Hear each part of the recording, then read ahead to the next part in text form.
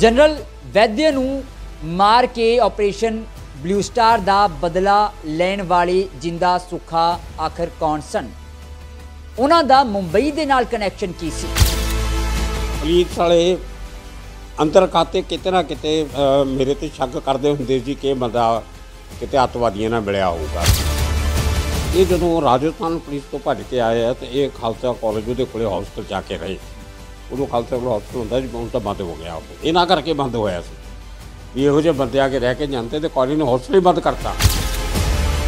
ਉਹ ਰਾਜੇ ਰਾਜਸਥਾਨ ਪੁਲਿਸ ਲੱਭਦੀ ਲੱਭਦੀ ਲੱਭਦੀ ਉਹਨਾਂ ਨੇ ਇਹਨਾਂ ਦਾ ਠਿਕਾਣਾ ਲੱਭ ਲਿਆ, ਜਿਹੜਾ ਮੇਰੇ ਘਰ ਦੇ ਉੱਤੇ ਸੀ। ਵੀ ਇੱਥੇ ਰਹਿੰਦੇ ਆ। ਪਰ ਉਹਨਾਂ ਦੀ ਹਿੰਮਤ ਨਹੀਂ ਹੋ ਰਹੀ ਜਾਣ ਦੀ ਕਿ ਕਿਉਂਕਿ ਉਹਨਾਂ ਦੇ ਬੰਦੇ ਮਾਰ ਕੇ ਆਏ ਇਸ ਨੂੰ ਪਤਾ ਨਹੀਂ ਬੜੇ ਡੇਅਰ ਡੈਵਲ ਨੇ। ਇਹ ਇਹ ਡਰਦੇ ਡਰਦੇ ਨਹੀਂ ਕਿ ਮਰਨ ਤੋਂ ਤੇ ਜਿਹੜੇ ਮਰਨ ਤੋਂ ਨਹੀਂ ਡਰਦੇ, ਉਹਨਾਂ ਤੋਂ ਪੁਲਿਸ ਬੜਾ ਡਰਦੀ ਹੁੰਦੀ ਹੈ।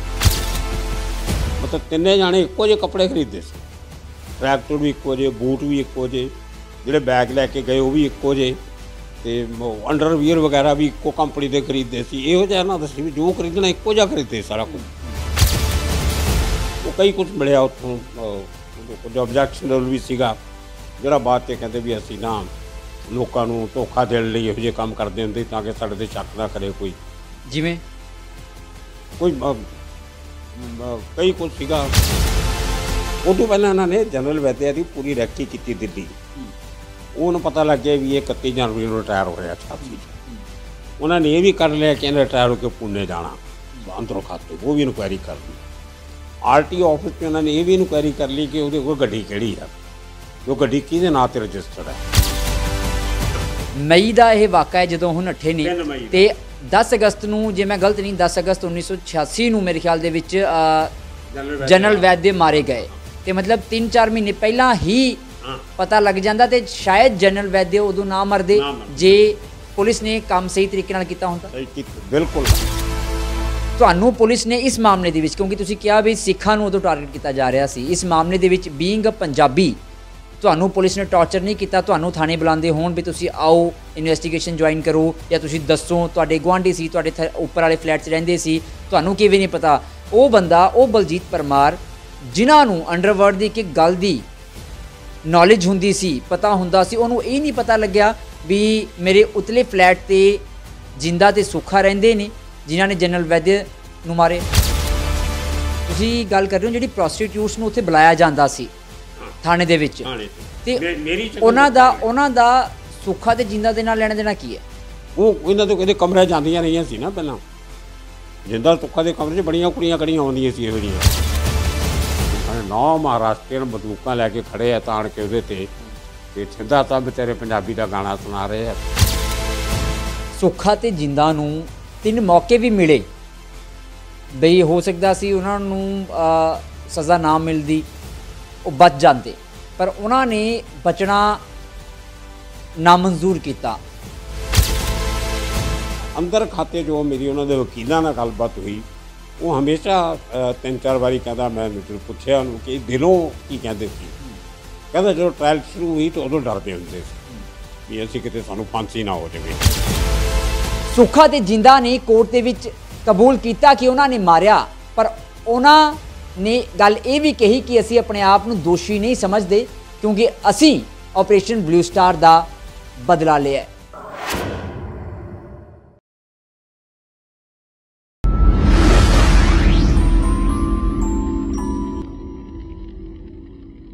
ਜਨਰਲ ਵੈਦਿਆ ਨੂੰ ਮਾਰ ਕੇ ਆਪਰੇਸ਼ਨ ਬਲੂ ਸਟਾਰ ਦਾ ਬਦਲਾ ਲੈਣ ਵਾਲੇ ਜਿੰਦਾ ਸੁੱਖਾ ਆਖਰ ਕੌਣ ਸਨ? ਉਹਨਾਂ ਦਾ ਮੁੰਬਈ ਦੇ ਨਾਲ ਕਨੈਕਸ਼ਨ ਕੀ ਸੀ? ਆਖਰ ਕਿਵੇਂ ਉਹ ਫੜੇ ਗਏ? ਤੇ ਅਜਿਹੇ ਹੋਰ ਕਈ ਰਾਜ਼ ਜੋ ਅੱਜ ਤੱਕ ਸਾਹਮਣੇ ਆ ਹੀ ਨਹੀਂ ਸਕੇ। ਅਸ ਤੁਹਾਨੂੰ ਉਹ ਸਾਰੇ ਰਾਜ਼ ਦੱਸਾਂਗੇ। ਤੇ ਖਬਰਸਾਰ ਚੈਨਲ ਦੇਖ ਰਹੇ ਸਾਰੇ ਹੀ ਦਰਸ਼ਕਾਂ ਦਾ ਸਵਾਗਤ ਹੈ। ਮੈਂ ਹਾਂ ਤੁਹਾਡੇ ਨਾਲ ਠਾਕੁਰ ਅਮਨਦੀਪ ਸਿੰਘ। ਇਹ ਰਾਜ਼ ਦੱਸਣ ਦੇ ਲਈ ਸਾਡੇ ਨਾਲ ਇੱਕ ਅਜਿਹੇ ਪੰਜਾਬੀ ਪੱਤਰਕਾਰ ਮੌਜੂਦ ਨੇ, ਜਿਨ੍ਹਾਂ ਦੇ ਗਵਾਂਢੀ ਰਹੇ 6 ਮਹੀਨੇ ਤੱਕ ਜਿੰਦਾ ਸੁੱਖਾ। ਉਹਨਾਂ ਦੀ ਗ੍ਰਿਫਤਾਰੀ ਤੋਂ ਪਹਿਲਾਂ ਉਹ ਉੱਥੇ ਰਹੇ।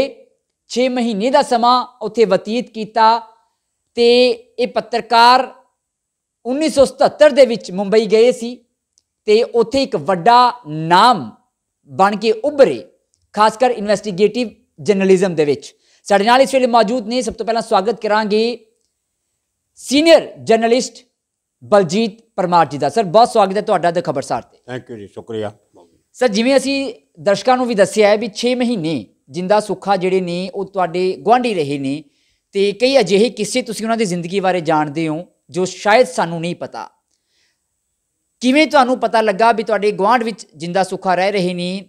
ਉਹ ਸਾਰੀ ਕਹਾਣੀ ਸਾਡੇ ਦਰਸ਼ਕਾਂ ਨੂੰ ਵੀ ਜ਼ਰੂਰ ਇੱਕ ਵਾਰ ਦੱਸੋ। ਅ, ਮੈਨੂੰ ਬਿਲਕੁਲ ਪਤਾ ਨਹੀਂ ਸੀ ਕਿ ਮੇਰੇ ਉੱਪਰ ਜਾਂ ਆਂਢ ਗੁਆਂਢ ਦੇ ਹੋਰ ਘਰਾਂ 'ਚ ਕੌਣ ਰਹਿੰਦਾ। ਮੇਰਾ ਕੋਈ ਸ਼ਡਿਊਲ ਇਹੋ ਜਿਹਾ ਸੀ ਤੁਹਾਨੂੰ ਪਤਾ ਪੱਤਰਕਾਰਾਂ ਦੀ ਜ਼ਿੰਦਗੀ। ਜੀ। ਮੈਂ ਨਾਈਟ ਡਿਊਟੀ ਕਰਦਾ ਹੁੰਦਾ ਸੀ। ਮੈਂ ਪਰਮਾਨੈਂਟ ਨਾਈਟ ਡਿਊਟੀ ਕੀਤੀ। ਮੈਂ ਕਦੇ ਡੇ ਡਿਊਟੀ ਨਹੀਂ ਕੀਤੀ ਅਖਬਾਰਾਂ 'ਚ। ਜੀ। ਤੇ ਉਹਦੇ ਕੁਝ ਕਾਰਨ ਸੀ। ਮੈਂ ਨਾਈਟ ਡਿਊਟੀ ਸਾਡੀ ਉਸ ਜ਼ਮਾਨੇ 'ਚ ਰਾਤ ਦੇ 1:30 ਵਜੇ ਤੱਕ ਚੱਲਦੀ ਹੁੰਦੀ ਸੀ। 1:30 ਵਜੇ ਪੇਪਰ ਦਾ ਫਰੰਟ ਪੇਜ ਜਿਹੜਾ ਉਹ ਪ੍ਰਿੰਟਿੰਗ ਲਈ ਜਾਂਦਾ ਸੀ ਜਦੋਂ ਤਿਆਰ ਹੋ ਕੇ। ਉਦੋਂ ਬਾਅਦ ਅਸੀਂ ਘਰ ਆਉਂਦੇ ਹੁੰਦੇ ਸੀ। 1:30 ਵਜੇ ਉੱਥੋਂ ਨਿਕਲ ਕੇ ਕਈ ਵਾਰੀ ਰਾਹ 'ਚ ਅਸੀਂ ਰੁਕ ਜਾਣਾ ਕਿਤੇ ਅ, ਅ, ਯਾਰਾਂ ਦੋਸਤਾਂ ਨੂੰ ਮਿਲਣਾ ਜਾਂ ਕਿਤੇ ਪੁਲਿਸ ਸਟੇਸ਼ਨ ਚਲੇ ਜਾਣਾ ਕੋਈ ਜਾਂਦੇ ਜਾਂਦੇ ਉਹ ਖਬਰ ਲੱਭ ਲੈਣੀ ਤੇ ਘਰ ਪਹੁੰਚਦਿਆਂ ਪਹੁੰਚਦਿਆਂ 2:30 3 ਵੱਜ ਜਾਂਦੇ ਸੀ ਰੋਜ਼। ਤੇ 3 ਵਜੇ ਸੌਂ ਕੇ ਰੋਟੀ ਘਰ ਚਾਹੇ ਖਾਣੀ ਸੀ ਮੇਰਾ ਸਟੂਡੈਂਟ ਬਾਹਰ ਮੈਂ ਖਾਂਦਾ ਨਹੀਂ ਸੀ। ਤੇ ਮੈਂ ਜਦੋਂ 3 ਵਜੇ ਸੌਣਾ ਮੈਂ ਸਵੇਰੇ 11 ਵਜੇ ਤੋਂ ਪਹਿਲਾਂ ਉੱਠਦਾ ਨਹੀਂ ਸੀ। ਤੇ ਘਰ 'ਚ ਜਿੰਨੇ ਕੰਮ ਕਰਨ ਵਾਲੇ ਆਉਂਦੇ ਸੀ ਬਾਈ ਆਉਂਦੀ ਸੀ ਜਾਂ ਧੋਬੀ ਕੱਪੜੇ ਲੈਣ ਆਉਂਦਾ ਸੀ ਜਾਂ ਜਮਾਦਾਰਨੀ ਕੂੜਾ ਲੈਣ ਆਉਂਦੀ ਸੀ ਜਾਂ ਕੋਈ ਡਾਕੀਆ ਸਵੇਰੇ ਆ ਗਿਆ ਮਤਲਬ ਜੋ ਵੀ ਕੰਮ ਸੀ ਉਹ ਮੇਰੇ ਸੁੱਤਿਆਂ ਸੁੱਤਿਆਂ ਨਿਬੜ ਜਾਂਦੇ ਸੀ। ਤੇ ਮੈਂ ਸ਼ਾਮ ਨੂੰ ਅ, 11 ਵਜੇ ਉੱਠ ਕੇ ਰੋਟੀ ਖਾ ਕੇ 3-4 ਵਜੇ ਘਰੋਂ ਨਿਕਲ ਜਾਣਾ। ਪੁਲਿਸ ਪ੍ਰੈਸ ਰੂਮ 'ਚ ਜਾਣਾ ਜਾਂ ਕੋਰਟਸ ਚਲੇ ਜਾਣਾ ਕਚਹਿਰੀਆਂ 'ਚ ਉੱਥੇ ਰਿਪੋਰਟਸ ਇਕੱਠੀਆਂ ਕਰ ਕਰਾ ਕੇ 7 ਵਜੇ ਫਿਰ ਆਫਿਸ ਪਹੁੰਚ ਜਾਣਾ। ਤਾਂ ਇਹ ਮੇਰਾ ਰੁਟੀਨ ਹੁੰਦਾ ਸੀ। ਤੇ ਇਸ ਕਰਕੇ ਬੜੇ ਲੋਕਾਂ ਨੇ ਮੈਨੂੰ ਦੇਖਿਆ ਹੀ ਨਹੀਂ ਸੀ। ਉਹ ਸਰਕਾਰੀ ਮੁਲਾਜ਼ਮਾਂ ਦੀ ਕਲੋਨੀ ਸੀ ਜਿੱਥੇ ਜੀ ਕਿਰਾਏ ਤੇ ਰਹਿੰਦੇ ਸੀ ਸਾਰੇ। ਉਹ ਸਵੇਰੇ 9 ਵਜੇ ਚਲੇ ਜਾਂਦੇ ਸੀ 5 ਵਜੇ ਆਉਂਦੇ ਸੀ। ਉਹਨਾਂ ਦੇ ਜਾਣ ਤੋਂ ਪਹਿਲਾਂ ਮੈਂ ਉੱਠ ਉਹਨਾਂ ਦੇ ਜਾਣ ਤੋਂ ਬਾਅਦ ਮੈਂ ਉੱਠਦਾ ਸੀ। ਤੇ ਉਹਨਾਂ ਦੇ ਘਰ ਆਉਣ ਤੋਂ ਪਹਿਲਾਂ ਪਹਿਲਾਂ ਮੈਂ ਨਿਕਲ ਜਾਂਦਾ ਸੀ ਤੇ ਮੈਨੂੰ ਕੋਈ ਦੇਖਿਆ ਹੀ ਨਹੀਂ ਸੀ ਮੈਨੂੰ ਬੜੇ ਲੋਕਾਂ ਨੇ। ਖੈਰ ਇਹ ਹੀ ਹਾਲਾਤ ਸਿੰਧ ਜਿੰਦਾ ਸੁੱਖਾਂ ਨਾਲ ਰਹੇ। ਉਹ ਸਾਰਾ ਦਿਨ ਗੁੱਲ ਰਹਿੰਦੇ ਸੀ। ਤੇ ਸ਼ਾਮ ਜੇ ਨੂੰ ਕਿਤੋਂ ਆਉਂਦੇ ਸੀ ਪਤਾ ਨਹੀਂ ਕਿਤੋਂ ਜਦੋਂ ਮੈਂ ਕਿਤੇ ਛੁੱਟੀ ਵਾਲੇ ਦਿਨ ਐਤਵਾਰ ਜਾਂ ਸ਼ਨੀਚਰਵਾਰ ਕਿਤੇ ਬਾਹਰ ਨਿਕਲਣਾ ਤੇ ਕਈ ਵਾਰੀ ਮੈਂ ਦੇਖਿਆ ਕਿ ਉਹ ਬੱਚਿਆਂ ਨਾਲ ਨਿੱਕੇ ਜਿਹੇ ਗਰਾਊਂਡ 'ਚ ਕ੍ਰਿਕਟ ਖੇਡਦੇ ਹੁੰਦੇ ਸੀ। ਬਸ ਇੰਨਾ ਕੁ ਸੀ ਉਹਨਾਂ ਦਾ। ਜਾਂ ਕਦੇ ਕਦੇ ਕਦਾਈ ਇੱਕ ਅੱਧੀ ਵਾਰੀ ਪੌੜੀਆਂ ਚੜ੍ਹਦੇ, ਉਤਰਦੇ। ਦੇਖ ਲਿਓ ਸਾਡੇ ਪੌੜੀਆਂ ਥੱਲੇ ਧੋਬੀ ਬੈਠਦਾ ਹੁੰਦਾ ਸੀ ਕੱਪੜੇ ਪ੍ਰੈਸ ਕਰਨ ਵਾਲਾ। ਉਹ ਕਿਤੇ ਉਹਦੇ ਕੋਲੇ ਖੜੇ ਹੁੰਦੇ ਸੀ ਕੱਪੜੇ ਪ੍ਰੈਸ ਕਰਾਉਣੇ ਪਰ ਗੱਲ ਕਦੇ ਨਹੀਂ ਸੀ ਹੋਈ। ਨਾ ਅਸੀਂ ਕਦੇ ਸੋਚਿਆ ਵੀ ਕੌਣ ਹੈ ਬੋਬੇ ਦਾ। ਬੇਸਿਕਲੀ ਮਾਹੌਲ ਵੀ ਇਹੋ ਜਿਹਾ ਵੀ ਗੁਆਂਢੀ ਗੁਆਂਢੀ ਨਾਲ ਗੱਲ ਘੱਟ ਹੀ ਕਰਦੇ ਆ। ਆਪਣੇ ਕੰਮ ਦਾ ਮਤਲਬ ਰੱਖਦੇ ਆ ਸਾਰੇ। ਤੇ ਇਸ ਕਰਕੇ ਮੈਨੂੰ ਕਦੇ ਉਹਨਾਂ ਨਾਲ ਗੱਲ ਕਰਨ ਦਾ ਮੌਕਾ ਨਹੀਂ ਮਿਲਿਆ। ਤੇ ਉਹ ਸਰ ਉਦੋਂ ਉਦੋਂ ਹੁਲੀਆ ਕਿਵੇਂ ਸੀ? ਉਹਨਾਂ ਦਾ ਸਿੰਘ ਰੂਪ ਵਿੱਚ ਸੀਗੇ ਜਾਂ ਫਿਰ ਕਟਸਟ ਸੀ? ਉਹਨਾਂ ਨੇ ਕੇਸ ਤੇ ਦਾੜਾ ਕਟਾਇਆ ਹੋਇਆ ਸੀ? ਨਹੀਂ ਬਿਲਕੁਲ ਕਲੀਨਚੇਬਲ ਸੀ ਤੈਨੂੰ ਔਰ ਬੜੇ ਵਧੀਆ ਵਾਲ ਹੀਰੋ ਆਰ ਕੇ ਲੱਗਦੇ ਤੈਨੂੰ ਥੋੜੇ ਹੁੰਦੇ ਸੀ। ਪਰਸਨੈਲਿਟੀ ਚੰਗੀ ਸੀ ਹਾਈਟ ਬਾਡੀ ਦੀ ਵੀ ਚੰਗੀਆਂ ਸੀ। ਤੇ ਨਿੰਮਾ ਥੋੜਾ ਜਿਹਾ ਇਹਨਾਂ ਤੋਂ ਉਮਰ ਛੋਟਾ ਲੱਗਦਾ ਸੀ ਥੋੜਾ ਜ਼ਿਆਦਾ ਸਮਾਰਟ ਸੀ। ਤੇ ਉਹ ਜਿਵੇਂ ਬੰਬਈ ਦੀ ਪਾਸੇ ਚਿਕਨਾ ਕਹਿੰਦੇ ਆ ਉਹ ਥੋੜਾ ਚਿਕਨਾ ਲੱਗਦਾ ਸੀ ਇਹ ਥੋੜੇ ਰਗੜ ਸੀਗੇ ਦੋਨੇ। ਜਿੰਦਾ ਥੋੜਾ ਜ਼ਿਆਦਾ ਰਗੜ ਸੀ ਅ, ਅ, ਤੇ ਸੁੱਖਾ ਥੋੜਾ ਜਿਹਾ ਘੱਟ ਤੇ ਉਹ ਬੱਚਿਆਂ ਵਾਂਗੂ ਲੱਗਦਾ ਸੀ ਮਾਤਾ। ਤਾਂ ਤੇ ਉਹ ਇਹਨਾਂ ਦੇ ਤੁਰਦਾ ਵੀ ਪਿੱਛੇ ਪਿੱਛੇ ਸੀ ਇਹਨਾਂ ਦੇ ਅੱਗੇ ਅੱਗੇ ਤੁਰਦਾ ਵੀ ਪਿੱਛੇ ਤੁਰਦਾ ਹੁੰਦਾ ਸੀ। ਉਹ ਮੈਂ ਦੇਖਿਆ ਉਹ ਜ਼ਿਆਦਾ ਮੇਰੇ ਨਾਲ ਕੋਈ ਇੰਟਰਸਟ ਨਹੀਂ ਲਿਆ ਕਿਉਂਕਿ ਮੇਰਾ ਮੈਨੂੰ ਪਤਾ ਨਹੀਂ ਸੀ ਵੀ ਕੌਣ ਨੇ ਕਿਉਂ ਬੁਲਾਈ ਕਿਸੇ ਨੂੰ ਤੇ ਉੱਥੇ ਚੰਗਾ ਵੀ ਨਹੀਂ ਲੱਗਦਾ ਕਿਸੇ ਨੂੰ ਪੁੱਛਣਾ ਤੁਸੀਂ ਕੌਣ। ਤੇ ਇਹਨਾਂ ਵੇ ਉਹਨਾਂ ਨਾਲ ਗੱਲ ਨਾ ਕਰਨੀ ਮੇਰੇ ਬਹੁਤ ਕੰਮ ਆਈ। ਜੇ ਮੈਂ ਕਦੇ ਇੱਕ ਅੱਧੀ ਵਾਰੀ ਗੱਲ ਕਰ ਲੈਂਦਾ ਤਾਂ ਜਿਹੜੀਆਂ ਪਰੇਸ਼ਾਨੀਆਂ ਮੈਨੂੰ ਉਹਨਾਂ ਦੇ ਭੱਜਣ ਤੋਂ 6 ਮਹੀਨੇ ਤੱਕ ਸਹਿਣੀਆਂ ਪਈਆਂ ਉਹ ਸ਼ਾਇਦ ਮੈਨੂੰ ਕਈ ਸਾਲ ਸਹਿਣੀਆਂ ਪੈਂਦੀਆਂ। ਹੋ ਸਕਦਾ ਤਾਂ ਉਮਰ ਸੈਣੀਆਂ ਪੈਂਦੀਆਂ। ਮਤਲਬ ਪੁਲਿਸ ਵਾਲੇ ਅੰਦਰ ਖਾਤੇ ਕਿਤੇ ਨਾ ਕਿਤੇ ਮੇਰੇ ਤੇ ਸ਼ੱਕ ਕਰਦੇ ਹੁੰਦੇ ਸੀ ਕਿ ਬੰਦਾ ਕਿਤੇ ਅੱਤਵਾਦੀਆਂ ਨਾਲ ਮਿਲਿਆ ਹੋਊਗਾ ਕਿ ਉਹ ਤੋਂ ਪਹਿਲਾਂ ਵੀ ਦੋ ਤਿੰਨ ਇਨਸੀਡੈਂਟ ਐਸੇ ਹੋ ਚੁੱਕੇ ਸੀ। ਜਿੱਥੇ ਮੇਰੇ ਤੇ ਉਹਨਾਂ ਨੂੰ ਸ਼ੱਕ ਹੋਇਆ ਕਿ ਮੈਂ ਵੀ ਪੰਜਾਬੀ ਇੱਕ ਸਿੱਖ ਫੈਮਿਲੀ ਤੋਂ ਗਿਆ ਹੋਇਆ ਬੰਦਾ ਪ੍ਰਦੇਸ਼ 'ਚ ਰਹਿ ਰਿਹਾ। ਤੇ ਉਹਨਾਂ ਨੂੰ ਲੱਗਿਆ ਵੀ ਇਹ ਕਿਤੇ ਅੱਤਵਾਦੀਆਂ ਦੀ ਮਦਦ ਕਰਦਾ ਹੋਊਗਾ ਅੰਦਰ ਖਾਤੇ ਉਤੋਂ ਦਾ ਇੱਕ ਐਂਟੀ ਟੈਰਰਿਸਟ ਸਕੁਐਡ ਦਾ ਚੀਫ ਹੁੰਦਾ ਸੀ ਏ ਖਾਨ ਆਫਤਾਬ ਅਹਿਮਦ ਖਾਨ। ਉਹਨੇ ਇੱਕ ਵਾਰੀ ਮੇਰੇ ਐਡੀਟਰ ਨੂੰ ਚਿੱਠੀ ਵੀ ਲਿਖੀ ਸੀ ਕਿ ਇਹ ਬਲਜੀਤ ਪਰਮਾਰ ਤੇ ਨਿਗਾਹ ਰੱਖੋ ਇਹ ਇਹ ਅੱਤਵਾਦੀਆਂ ਦੀ ਮਦਦ ਕਰਦਾ। ਉਹ ਐਡੀਟਰ ਨੇ ਚਿੱਠੀ ਮੈਨੂੰ ਦੇਤੀ। ਆ ਦੇਖ ਤੇਰੇ ਬਾਰੇ ਕੀ ਲਿਖ ਕੇ ਆਇਆ। ਮੈਂ ਉਹ ਚਿੱਠੀ ਲੈ ਕੇ ਸਿੱਧਾ ਬੰਬੇ ਯੂਨੀਵਰਸਿਟੀ ਜਰਨਲਿਸਟ ਦੇ ਆਫਿਸ 'ਚ ਗਿਆ, ਜਿਹੜੀ ਸਾਡੀ ਯੂਨੀਅਨ ਉੱਥੇ ਜਰਨਲਿਸਟਾਂ ਦੀ। ਮੈਂ ਕਿਹਾ ਜੀ, ਇਹ ਬੰਦੇ ਨੇ ਮੇਰੇ ਤੇ ਬਹੁਤ ਵੱਡਾ ਇਲਜ਼ਾਮ ਲਾਇਆ ਕਿ ਮੈਂ ਅੱਤਵਾਦੀਆਂ ਦਾ ਮਦਦਗਾਰ ਹਾਂ ਤੇ ਜਾਂ ਤਾਂ ਇਹਨੂੰ ਕਿਹਾ ਜਾਵੇ ਕਿ ਸਿੱਧ ਕਰੇ ਤੇ ਜਾਂ ਮਾਫੀ ਮੰਗੇ। ਮੈਂ ਇਹ ਬਲੌਟ ਲੈ ਕੇ ਜੀਣਾ ਨਹੀਂ ਚਾਹੁੰਦਾ, ਮੇਰੇ ਤੇ ਜਿਹੜਾ ਇਲਜ਼ਾਮ ਲਾਇਆ। ਸਾਡੀ ਬੰਬੇ ਯੂਨੀਅਨ ਜਰਨਲਿਸਟ ਦਾ ਉਸ ਵੇਲੇ ਜਨਰਲ ਸੈਕਟਰੀ ਸੀਗਾ, ਜਤਨ ਦੇਸਾਈ, ਅੱਜ ਵੀ ਹੈਗਾ ਉਹ।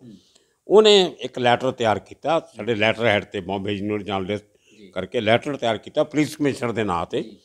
ਉਹ ਲੈਟਰ ਲੈ ਕੇ ਅਸੀਂ ਪੁਲਿਸ ਕਮਿਸ਼ਨਰ ਕੋਲੇ ਗਏ।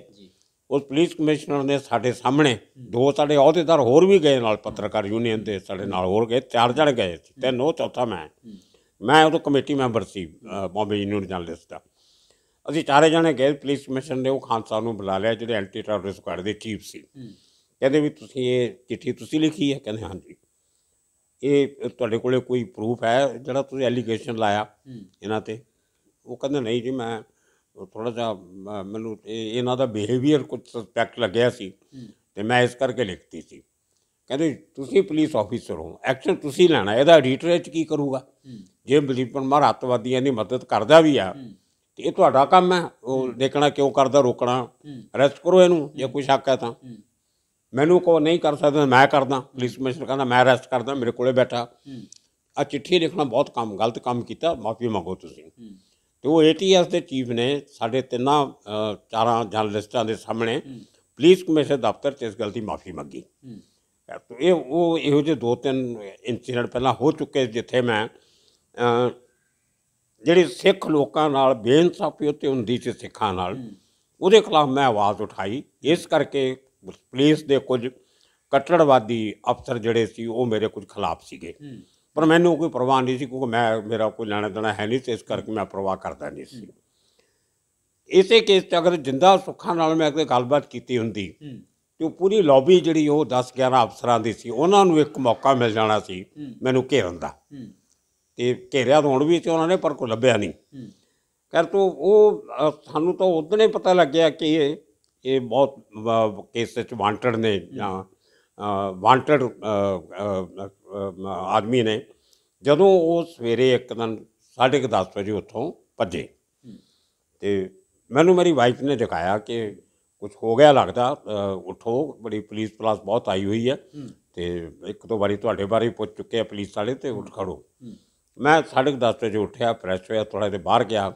ਤੇ ਦੇਖਿਆ ਤਾਂ ਮੁੰਬਈ ਦਾ ਪੁਲਿਸ ਕਮਿਸ਼ਨਰ ਖੜਾ। ਬਾਹਰ ਕੰਪਾਊਂਡ 'ਚ। Additional commissioner DCP inspector crime branch ਦੇ ਅਫਸਰ ਉਹ 150 ਬੰਦਾ ਪੁਲਿਸ ਦਾ ਘੁੰਮ ਰਿਹਾ ਸਾਡੀ ਬਿਲਡਿੰਗ ਦੇ ਆਲੇ ਦੁਆਲੇ ਮੈਂ ਫਿਰ ਪੁੱਛਿਆ ਵੀ ਕੀ ਹੋ ਗਿਆ।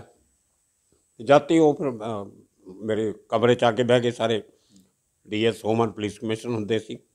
ਵਾਈਸੀ ਪਵਾ ਡੀਸੀਪੀ ਸੀ। ਤੇ ਉਹ ਸਾਰੇ ਮੇਰੇ ਕਮਰੇ 'ਚ ਆ ਕੇ ਬੈਠ ਕੇ ਵਿਸ਼ਨੂੰ ਕੁਮਾਰ ਕ੍ਰਾਈਮ ਬ੍ਰਾਂਚ ਦਾ ਇੰਸਪੈਕਟਰ ਸੀ।